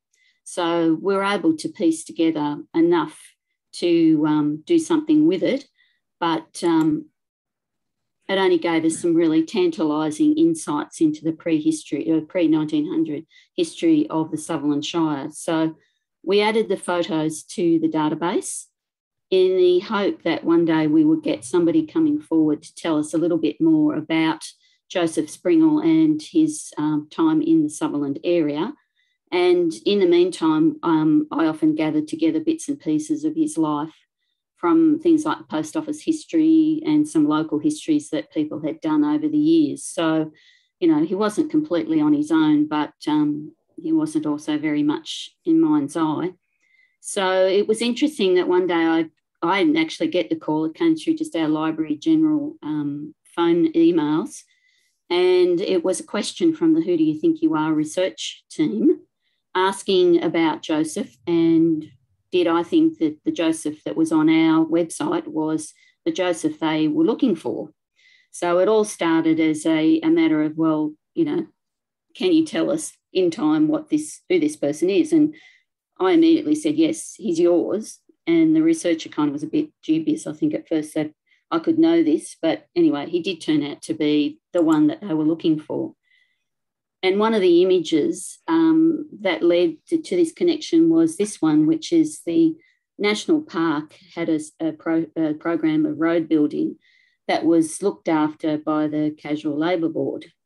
And um, Joseph was actually employed by them as a um, storekeeper, which meant that he was in charge of pay distribution and looking after the site. So we had a connection with Joseph through the Casual Labour Board. And he actually managed to, by fair means or foul, um, to amass a reasonable amount of money from working for the Casual Labour Board. So his next move was interesting because quite often with people that have worked and lived in or worked in the area, they don't tend to stay around in the Sutherland area, and particularly at this time, because there was really not much around. And this is an early photograph of the Cronulla Beach area, and there's really nothing there. So Joseph decided to stay and um, develop, purchase some land with his money and build a hotel. So it was a fairly, probably brave move on his part. And once again, we really weren't particularly sure uh, why it was that he did it. Um, but obviously, he could see some potential. And this um, locality plan is one of our latest subdivision plans showing that, yes, indeed, Cronulla in Sutherland Shire became quite a, a popular area as it is today. So he wasn't far wrong. So it was about telling the story, and that was working with the researcher from Who Do You Think You Are, piecing together personal information about Joseph, which was mostly her job, and then looking at the reasons perhaps why he was coming to the area, and that was access. There was improved access through a punt that went over the Georges River, and it was reported in the local press that Cronulla was a, a you know perhaps an area that you you know people might be interested in going to. So there was a story being pieced together which gave us some reasons to why Joseph was coming out. So it wasn't until the end of the process of working with the researcher over a few months. Um, and the story's sort of getting more in depth. I'm getting more calls and more emails. So I kind of figured we were getting close to being part of the, the story. And um, it wasn't until nearly the end that it was um, I was asked, did I want to be part of the show, and also then having the name of the celebrity released, which, as you know, is quite top secret, confidential, and you get hassled by everybody who wants to know who it is. Um, so at that stage, um, it was all go for doing some reporting um, in the area, of course, at Cronulla. And this is uh, Chris Bath, who was the presenter, who was a celebrity, um, newsreader and presenter, and worked on radio and other projects. This is her standing on the looking towards the site of the Oriental Hotel, which turns out to be her ancestors, um, you know, Joseph Springall on her mother's side. Um, it's her um, looking up to the site as to where the, the hotel was. And I have to say, she was hoping for a villa in Tuscany, and but had to make do with uh, Joseph having a hotel at Cronulla. And she was actually quite proud of the fact that he obviously was a visionary um, in the sense that he took chance in an area where there was little development. And you can see here, she's actually looking at a photo of the Oriental Hotel. So I think she was a bit chuffed that he at least um, had a big part in how the Sutherland Shire developed. And she'd never actually been to the Sutherland Shire before. So it was an eye opener to her as well. So we spent a lot of time on the Bundeena Ferry, which is what's pictured here. And um, that in itself was challenging because there was boat noise, there was Gunnamatta Bay noise, which is where the, the Bundeena Ferry goes. Um, and also we had, I mean, naively thought, oh, you know, just do one take and that's it. Well, no, you do it several times over and you have to remember what you've said. Um, you hold all of the sources in your hand, and it was really very, very challenging. And and we had weather conditions. It was a very hot day, and of course, in the afternoon there was a storm, so we had to relocate to another location. So on the night itself, I was quite amazed that it turned out to be so cool, calm, and collected because in real life it was really not. so, but having said that, um, it was a great opportunity. I had a much better appreciation of the collection and the connection we actually established with the community. We also you always use social media, but we had a really big following for me being part of the show and the local community being quite proud of their local studies librarian being on television. Uh, it refocused, as always, it does when you're sort of doing local history, how important um, your history is in the state and in Australia. And it also reinforced that commitment to presenting local history using storytelling. It's just an amazing way to do it. I mean, even I was thinking, well, what's going to happen next? And also, it was a really great opportunity, which, you know, if you ever get the opportunity, I highly recommend it. It's, it's worth every minute. So thank you. Thank you. That was great. Any questions? Um, I just wanted to mention, um, Helen, I saw you and I was very proud of you uh, in that episode.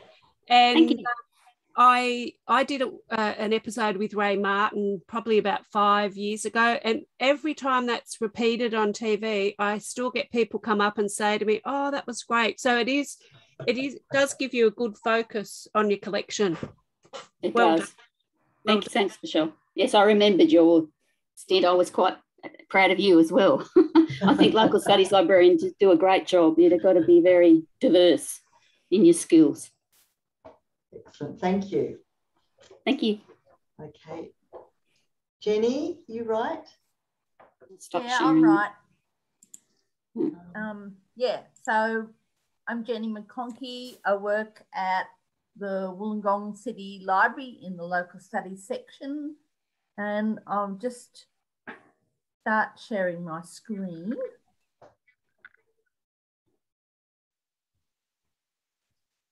And start my slideshow. So what I've been asked to talk about today is an online exhibition that our library has put up on our website called Steelworks, The Backbone. So it was put up for History Week in 2021. And the name is just fabulous because really the steelworks is the backbone of the Illawarra. It started since 1920s and you know it's the major it's been the major employer even though the numbers are down now really the other people that used to be employed directly are employed by other companies that work for them. You know, the minute there's any sort of hint of trouble at the steelworks financially, the whole region is sort of in a flutter and we're all worried. And then just on a personal note, you know, even where I'm living today, my husband worked at the steelworks, the man next door worked at the steelworks when I grew up.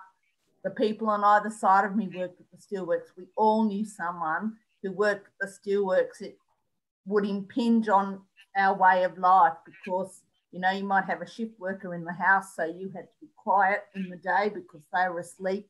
You know, everybody has a link to the steelworks, so it's a great um, exhibition, and we have thousands of photos of the steelworks and industrial photos, and they keep coming in. So, you know, we thought, oh, we had a big collection, but even last year, someone brought in, you know, four rusty little filing drawers full of negatives of the steelworks for us. So, you know, it's never ending how many steelworks photos we've got.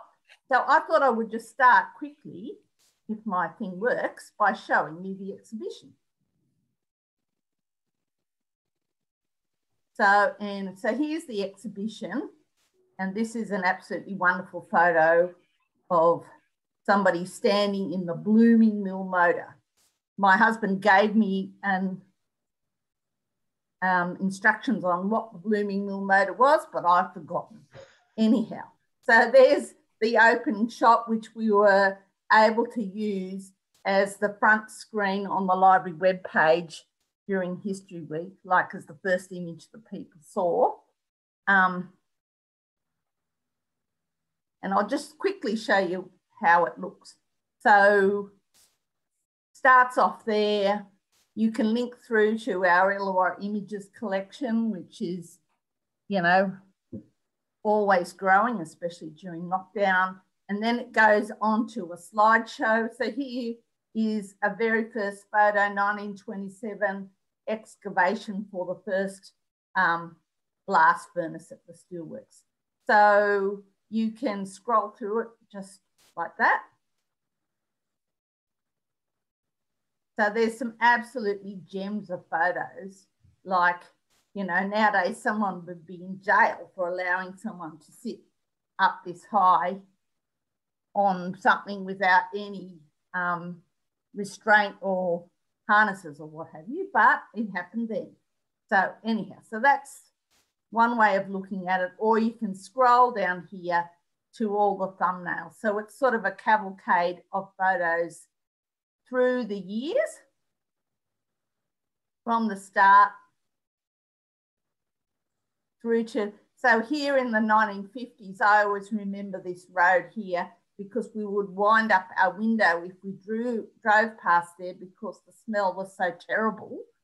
And if you drove through there at any time that was Stewart's closing time, it would be an absolute traffic jam. So you wouldn't go there. Um, yeah, change of shift, and you would certainly wind up the window. But now you don't have to wind up the window because they are really on top of, well, let, and people would say there's always room for improvement, but they have improved a lot. Anyhow, so when we scroll down through the cavalcade of photos to the more modern ones that are here. So you get in these thumbnails, you get a brief description about the photos. So here we've got some steelworkers picketing in 1991 outside BHP's Spring Hill Works. And so one of our staff wrote all these little brief blurbs and then next to it is a P number, which is our individual image number. So every photo has an individual image number. You can type that number into our catalogue and it will bring you immediately to the photo. So I think if I click on one of the photos, it just takes me to this view here of the photo. So we had selected, here we've selected 20 images, but you know, probably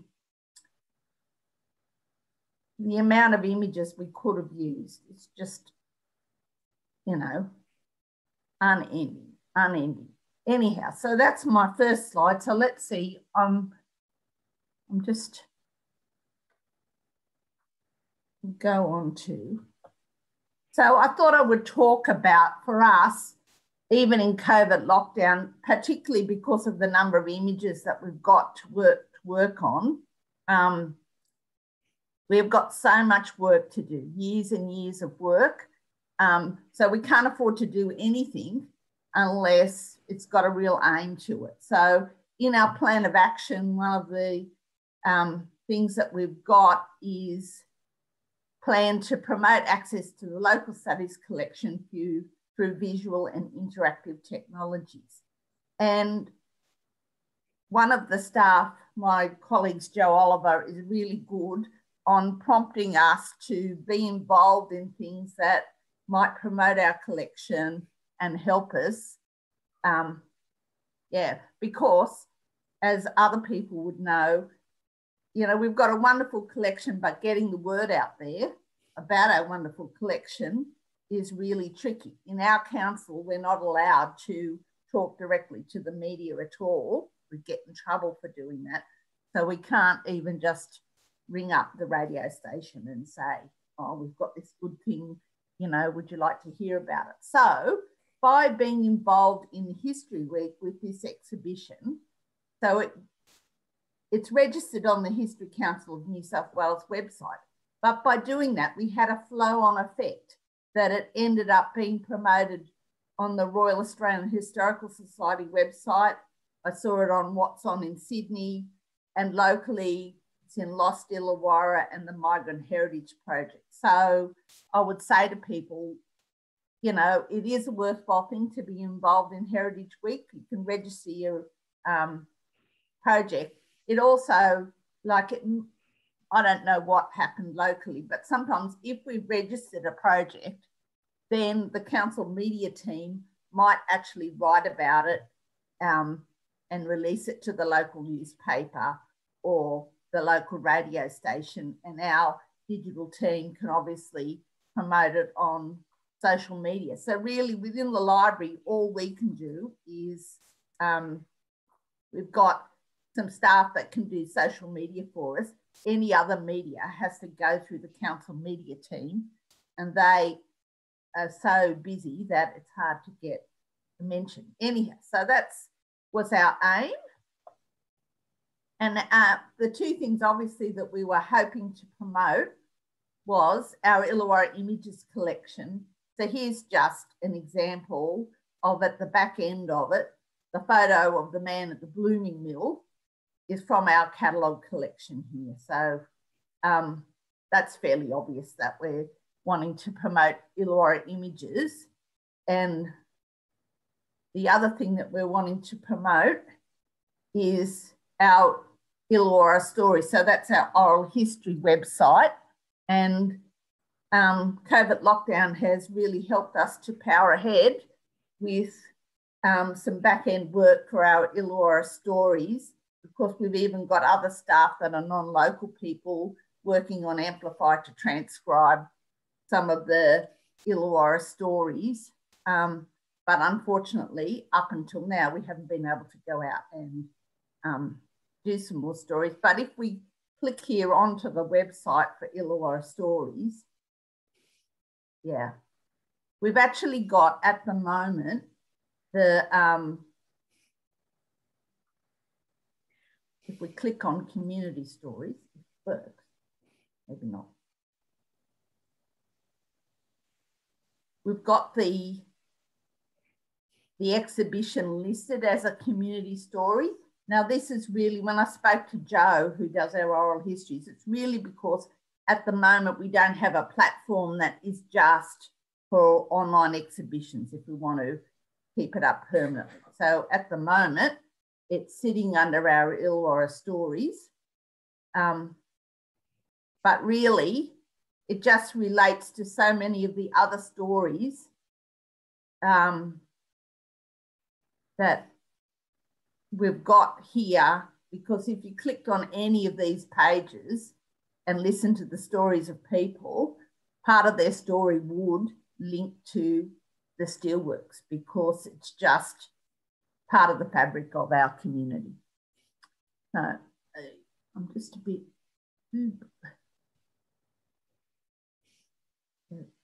back.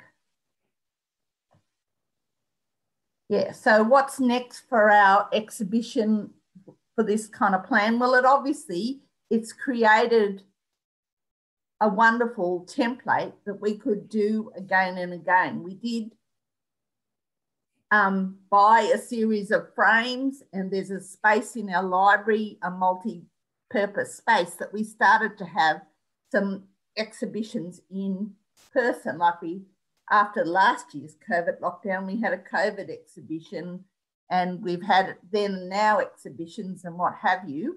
Um, but this year we couldn't do that. So it's forced us to go into the online platform. So our question is, which maybe someone else has an answer to, is, you know, how can we create a space to permanently um, you know, have these exhibitions online and then we could build on them. So other ones we've had, yeah, we had a Croker Island exhibition because it turned out that in World War II, children from Croker Island were sent to Otford to live to um, be safe from the Japanese. So some of these other exhibitions that we've already done, we could obviously work towards putting up in the same way. And lastly, just to acknowledge the work of our staff. So it really was a team effort to get um, the exhibition up and going.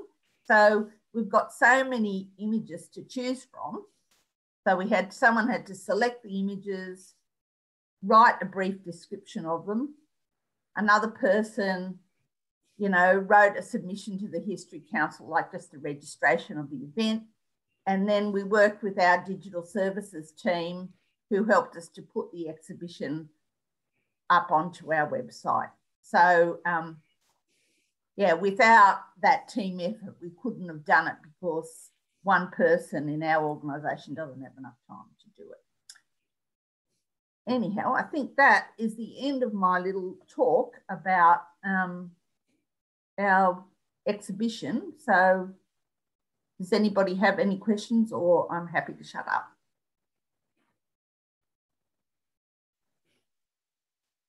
Hmm, stop, stop sharing.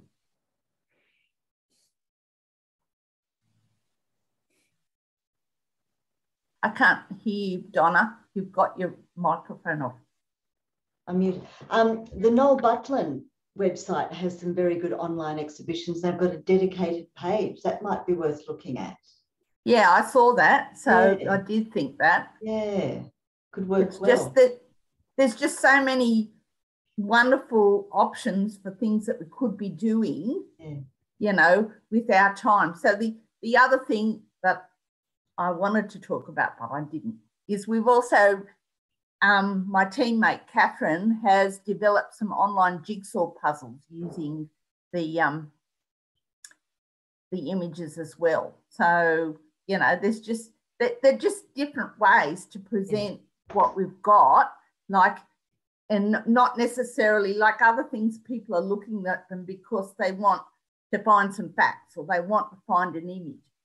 But the exhibition or the jigsaw puzzle is just because we're interested, yeah. like, or we want to fill in our time. It's a different way of engaging with people or possibly engaging with someone who if would never come and research using our resources, but they oh, it's quite fun to have, oh, look how, you know, Port Kembla looked in mm. 1920, or look at this funny jigsaw puzzle, you know, picture. So there's lots of possibilities as well for um, things that we've done in the past you know like you know then put recreating the that as an online exhibition when we've done things for special events and and things like that. You can you've already done the research um, and you've got the access to the images. It's just presenting it in a in a different way yeah a different market. Yeah would be quick. Like it's a quick way of if you if we started up or any of us started to get some content up and going, if you rework with what you've already done, because again, the people who would have might have seen something if you did it in the library premises will be possibly different people to who might see it if you do it online. There is a question which I think we're all wondering What's the image behind you? That's me. yeah. Just before, luckily, I got a holiday in just before last year's COVID lockdown. about two Decembers ago, I went to Melbourne, and that's the KAWS exhibition. I think it's K A A W S it's some sort of artist. My friend wanted to go to the National Gallery of Victoria, and that's one of his books. and me. So luckily we got that in before Very good. you know there was a roadblock at the border with Victoria. Well, thanks. Any other questions? Okay, thanks, Jennifer. That was good. Perfect. Thank you. Okay, next up is Jeff.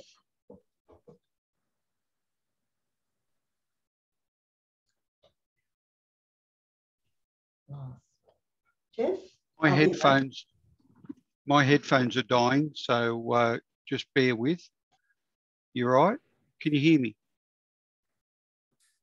Okay. Yes, we can hear you clearly. Thanks, Jeff. Great. All right. Now I've just got to set this up.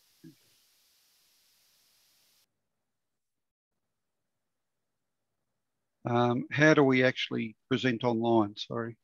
Okay, to share, uh, if you mouse to the bottom of the screen, there's a share screen option, but you'll need to have your PowerPoint presentation open first. Okay, uh, just share screen, got it,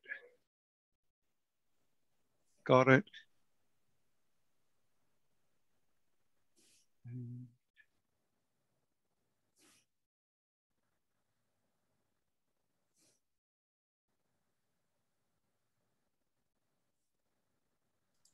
Um, if you press the, the from beginning one, that should um, work. Yep. Yep. Uh-huh. We right now? It hasn't changed. Oh, yeah. Uh, we're also, uh, Jeff, we're also seeing your trailing screen. So what you'll actually have to do is there'll be an option up the top that you need to mirror screens. I'm guessing you've got two screens. Um, unshare. Um, yeah, if you could stop sharing, because it's just we can see your next screen and all your notes.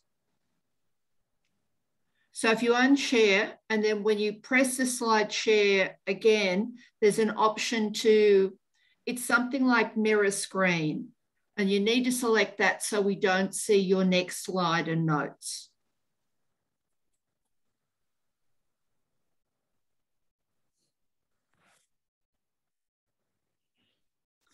I'm getting tech help. Oh, good. Okay. Okay. So I've got to unshare. And it's just, it's the option. You'll end up with everything kind of mirrored, but but it's the only way we won't see your notes and the trailing screen. We'll see the slides you want us to see.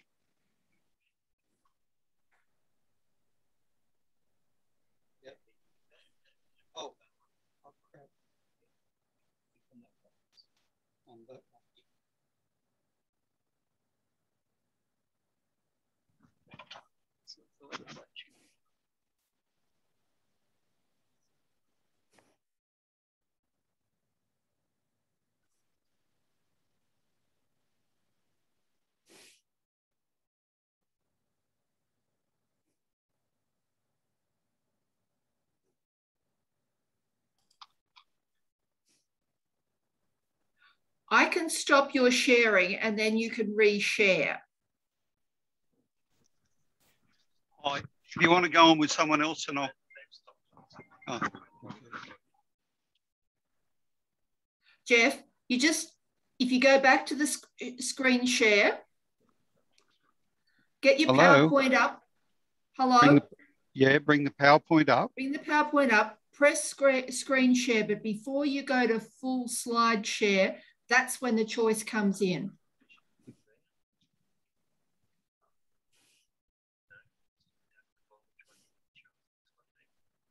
Yeah.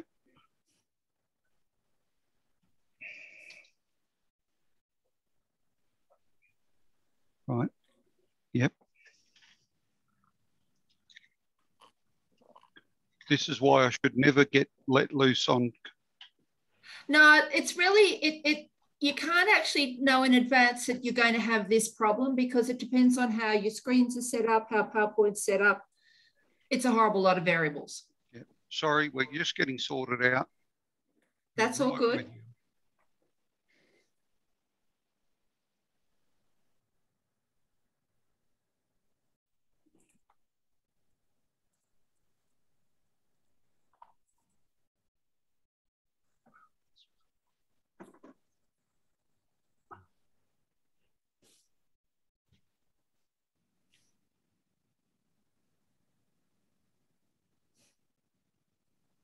In my head, this was all going to uh, go so smoothly. It always does.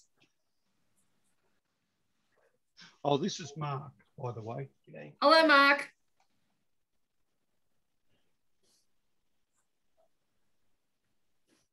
Yeah, so you need to do the screen share of, yep, and beautiful.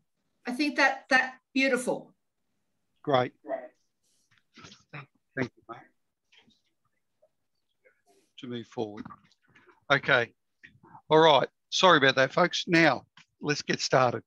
Um, this presentation outlines how the former Gosford LGA used to assign street names, and in particular, how one little book influenced not only what happened in our area, but what may have happened in a multitude of places across Australia.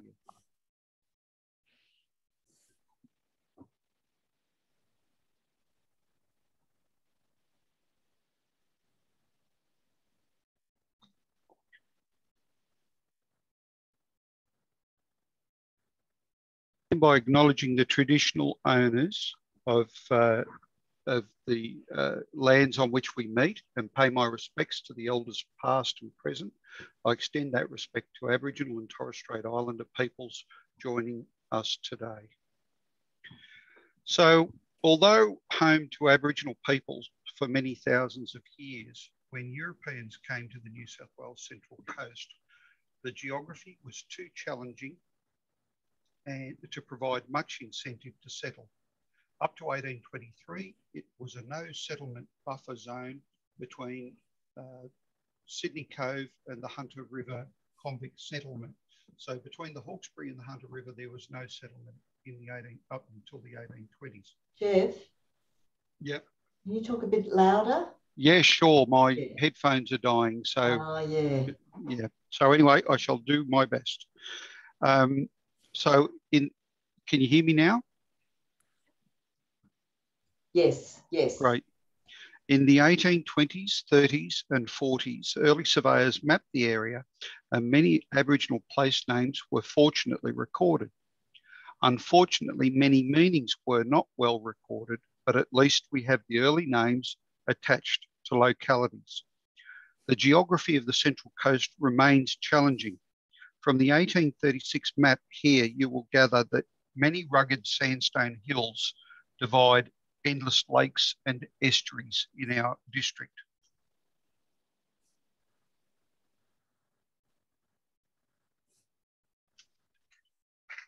So isolation leads to repetition. When settlement occurred, particularly in the former Gosford LGA, it was based around small shipbuilding villages which were located near good stands of timber and where there was water deep enough to launch vessels. The resulting villages were isolated from one another and largely accessible only by water.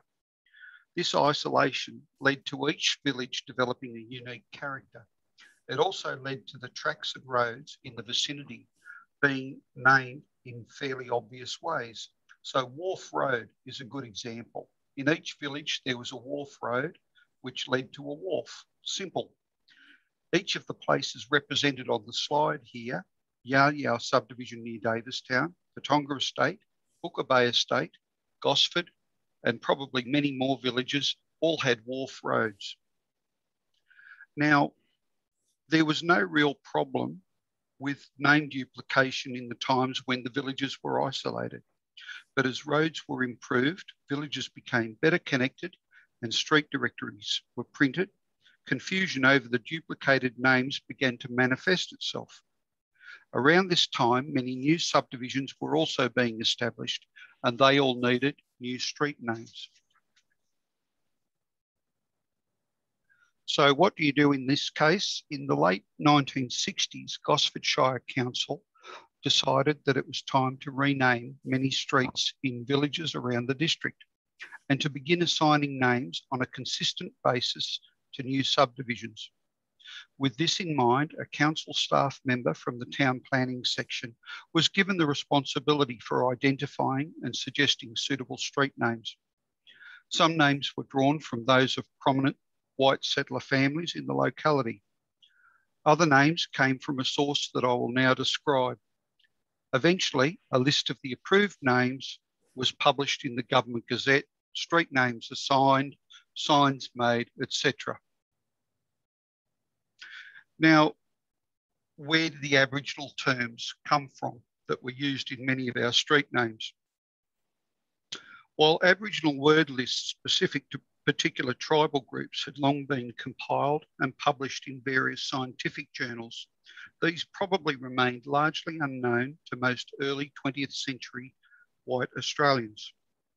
Now, in 1924, a little book, Australian Aboriginal Native Words and Their Meanings, compiled by Sydney Endacott, was first published in Melbourne. Over time, several editions of this book were published, with later versions having a descriptive blurb added to the cover, which very patronisingly reads, a choice of 3,000 pleasant sounding words from which to choose an appropriate Australian name. Endacott claimed no special language, uh, no special knowledge of Aboriginal culture or vocabularies. Words were chosen that ran trippingly off the tongue, and these were drawn from a wide range of unrecorded sources in old books, newspapers, etc. It is believed that words come from all mainland states, but establishing just where they originated would be a major study in its own right. To his credit, Endacott, in his foreword, did point out the need to cultivate and maintain an Australian atmosphere over our, our lives and doings, and so counter the apparently growing conviction that we are just a sort of suburb of New York or Paris or even of London. Now, at the time of its release in 1924, Endacott's book was probably unique. It gave everyday Australians a selection of Aboriginal words and a supposed meaning. The general public and state and local governments were quick to recognise the utility of such a, a publication. That this book was a great hit with local councils across Australia is unquestionable. On this slide is a Google Earth image of Coomba Park near Tuncurry, and most of the street names are Aboriginal terms taken straight from Endacott's book. Now, this is repeated in many parts of Australia. Although many of the words appear to be from the mainland, even streets in subdivisions in Hobart have ironically used terms compiled by Endacott. At Gosford, we appear to have been late adopters of Endacott's work, but like many councils, this little work became a go-to one-stop shop solution for the naming of local roads. Although we cannot categorically state that all instances of the same words being used across Australia are entirely due to Endacott, excuse me, there is a strong circumstantial case. Some terms may have been gathered by councils from random lists published in newspaper and magazine articles, but the case for Endacott builds where there are several or many names that appear in the 1924 book. This slide gives a picture of just how one term, Karinya, came to be used all over Australia in a multitude of places and situations. Add to that the adoption of words from Endacott as business or institutional names, and the legacy of the book becomes quite apparent. So you can see from this slide that there are Karinya streets all over Australia. There are uh, roads. There's aged care homes. There is a ski ranch at Wiseman's Ferry, uh, hairdressing salons, correctional centres, and so on. So you really get the idea of the reach of this, this one little book. Pros and cons.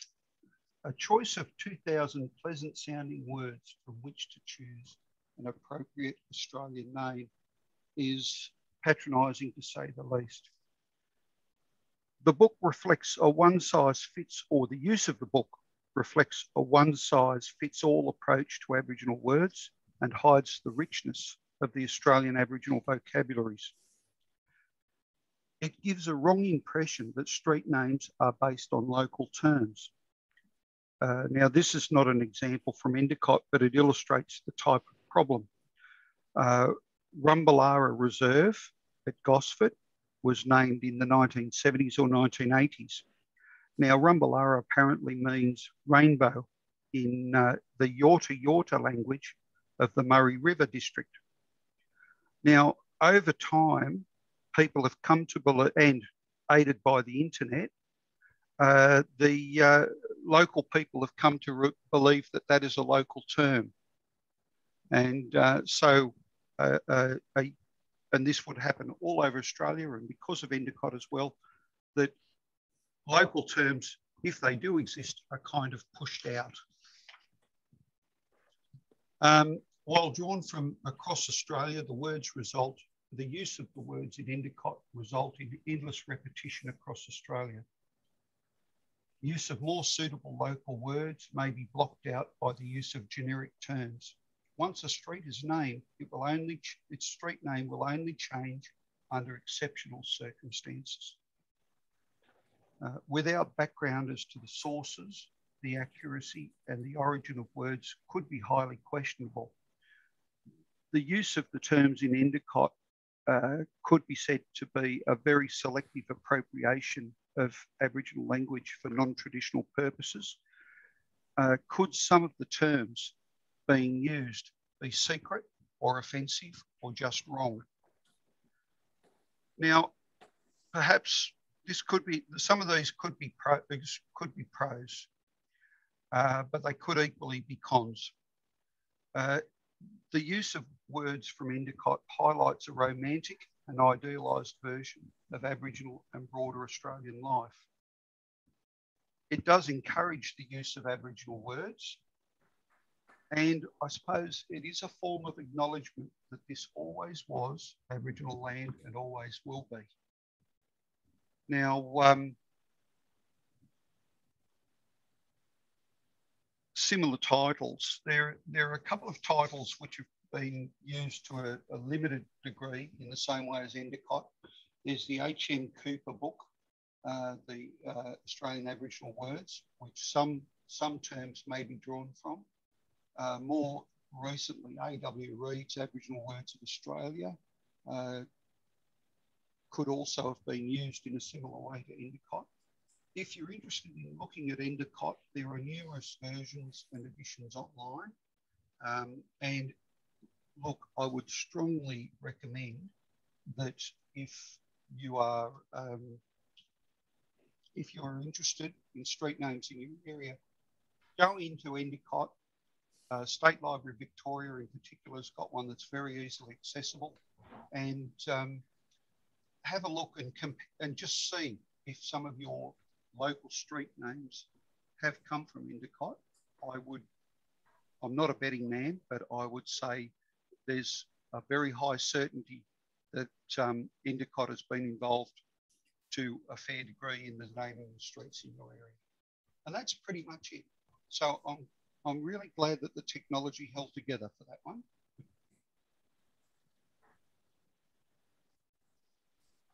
Thank you, Jeff. Any questions? There is one question. Bridget wants to know when it was published. 1924. 24. And there were there was um, several editions of it uh, created. It is available. You can get get copies on eBay. Uh, as I said, there are digitized copies online, and um, yeah, it, I, look, I think fundamentally because councils, councils and institutions are looking for easy easy fixes to problems, and this little book gave them a quick way to come up with what they thought were suitable terms for streets in an area. Um, I was looking at a Sydney street directory in, excuse me, at the 1930s. And even by the 1930s, a lot of council areas closer to Sydney had adopted many terms from, from Endacott. That was fascinating, fascinating. Any other questions? Mine, mine's just a comment. It's Michelle from Hawkesbury.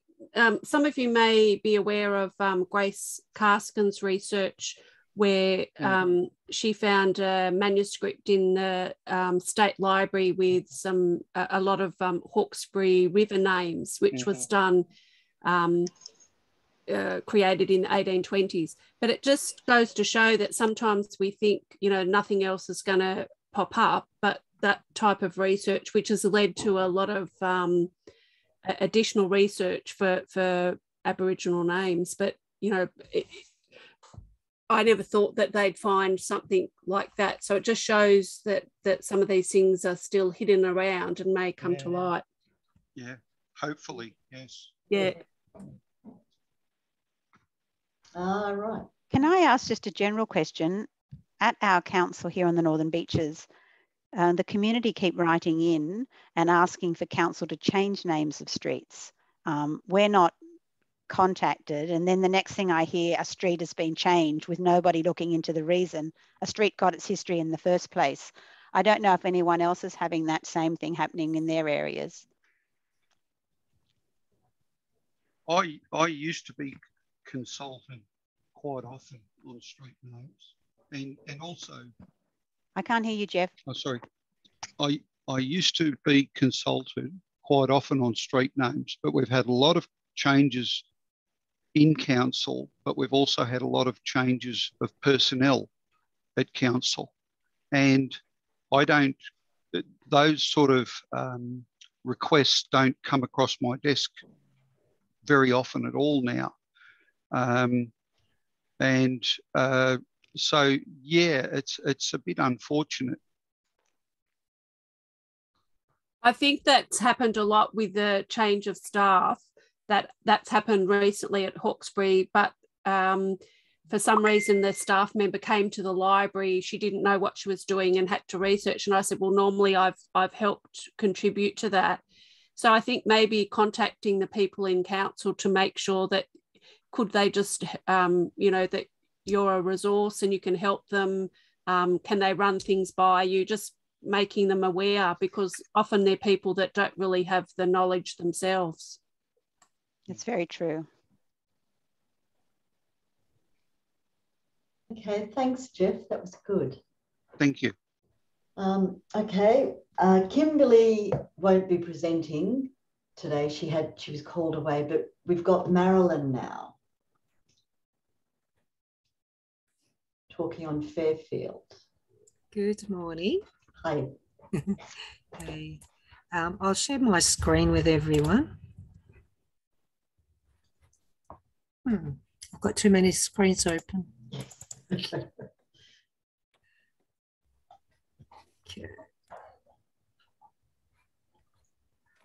Can anyone, everyone see my screen?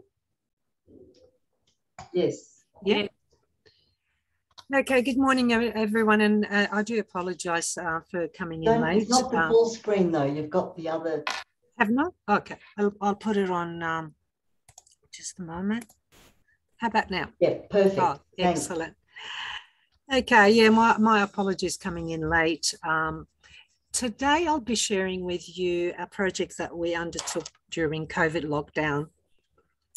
And we decided to see if we can collect some, some uh, photographs from uh, people, what people are doing during lockdown. So this is what I've got up there is a flyer that we've created um, to use for our um, um, promotion. So I'll go through the project um, with you um, bit by bit, then I'll take you to where we display the photos for everyone to see. So we called that, the title of our project was Our Stories, Fairfield Daily Life during COVID-19. So um, this digital collection documents the stories and experiences of the Fairfield community during the COVID-19 pandemic that hit Australia early 2020 and is still part of everyday life um, even though we're coming out of it, but I think we're still impacted um, somehow by it. So COVID-19 has changed the way we live our daily life. We work from home and we learned from home. We wore masks and we're still wearing masks, I guess. Uh, keeping our distances. We found um, new ways to connect as businesses are closed and events were cancelled. We checked in and checked out, got tested and jabbed. We miss our families and smile at a screen, which everyone relates to that, I guess. Um, so a lot of people got creative and some of them bored, some exercise to stay sane. So we looked, we looked after each other and all tried to, to do our best. So to share people's stories in, in that respect, um, we invited the community, the residents and people who worked in the Fairfield area to share images of how their daily lives have changed during the pandemic. Um, so we asked the community to take a photo, find an image that um, they have taken in the last year that captures their daily life during the, the pandemic. Um, and to complete a form um, a, a, a, form which we have uploaded on our um, library um, uh, library site. Uh, we uh, connected the through the flyouts for people to connect through that. And if they had any questions, and we also asked the community to stay at home. We didn't encourage them to go out and take photos and get themselves in trouble during the lockdown. So, and also we mentioned we were very particular about copyright. So by uh, at the end of it, we said by completing the form, you give Fairfield Council permission to collect and share your images. And we had a media release. Basically what I've said was um, sort of um, included in that uh, media release. And some of the frequently um, asked questions we covered because we thought, you know, people's going to say, what am I, what am I going to submit? So we had a frequently asked um, questions uh, area and how to upload their images. and we also said that we're going to have these photos available on our um, heritage website, which I'm taking you to. Can you see that? Can you see the site or not? Yes, we could. The website? Yeah, it's gone now, but it was yeah. there. Okay, I'll, I'll relink it.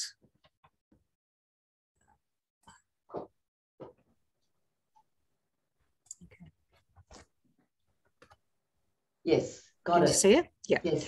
So this is our um, heritage website. On this site, we have all our collections. So it's our platform for for everything, for including um, photographs, um, our vintage village, which um, our collection as well, the um, object collection. We have newspapers, which is local history resources. Um, our social history exhibitions are also there, our object collection, our art collection, our military collection and our oral histories. And also we've got council minutes on this. So what we included an extra tile to cover our stories. And the idea of this was for people to actually see their, their uh, photographs published in sort of instantly online within a day, not instant, but within a day. So during, since August till now, we've collected over 100 photos. I mean, some of them were a bit silly, some of them were funny. Um, I'll just share a few, few of them. I really liked one where a lady actually made a cake for her husband's birthday. Um, and she's got stay at home with a mask and sanitizers.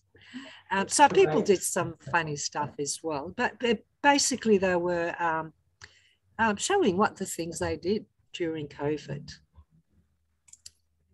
Just go back here. Um, I mean, if you have a chance, there's a link. I can share my presentation with everyone. There's a link there through our web, website. But also some people went and look and took photos when they were shopping. Um, some people took photos where they were cycling.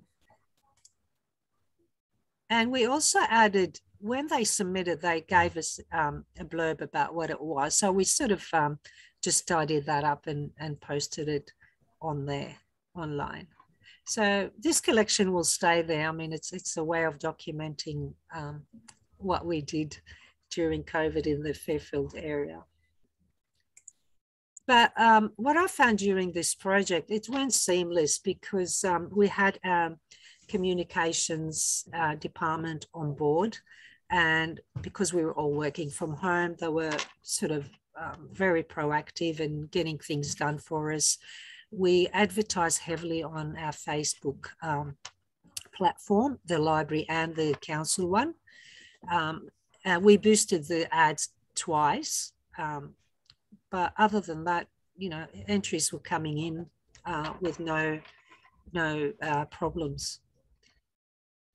Um, what else was going to, let me go back to my presentation.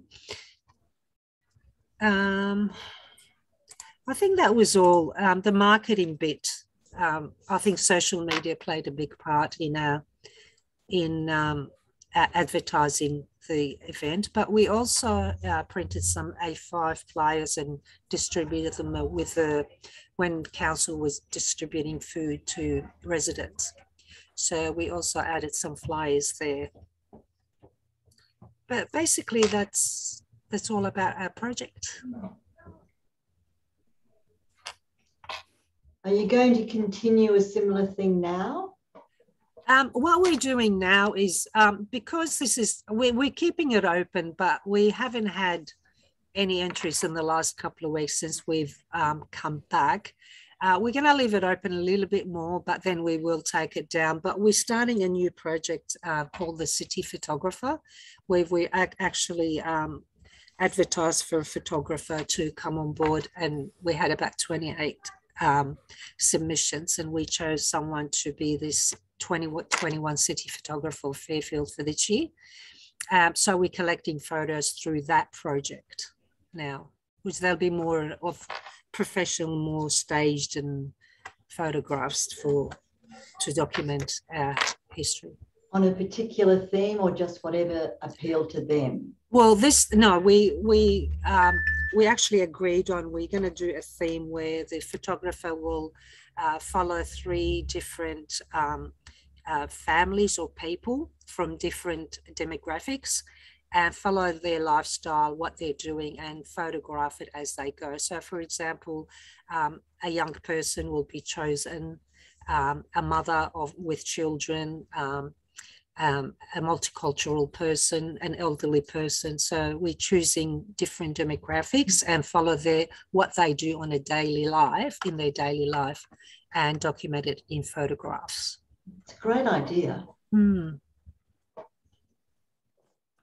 And was it easy to find the people to photograph?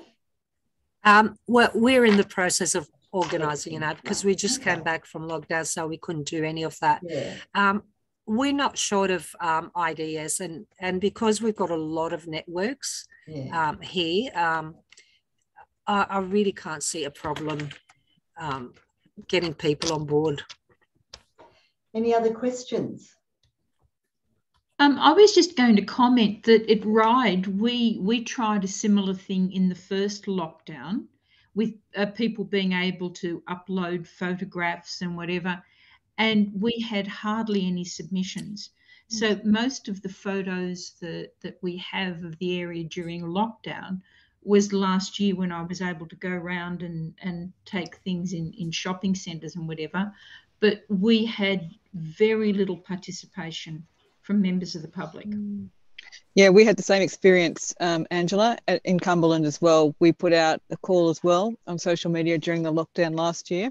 We had one response, which we put out there. it was really great to see, but nothing else came. So I was reliant really on a lot of my fellow staff getting around who lived in the LGA to give me what photos they could. Um, and this time around, because of the fact that we were one of the hotspot councils, I'm actually now reached the point where I'm talking to council's media staff who are out there photographing, um, you know, the food hamper distributions and all the other community efforts that were going on by those staff who were still working here at the time. So at least I've got that as a record. So I'm hoping to get those pretty soon. Yeah, yeah, interesting. Thank you, Jane.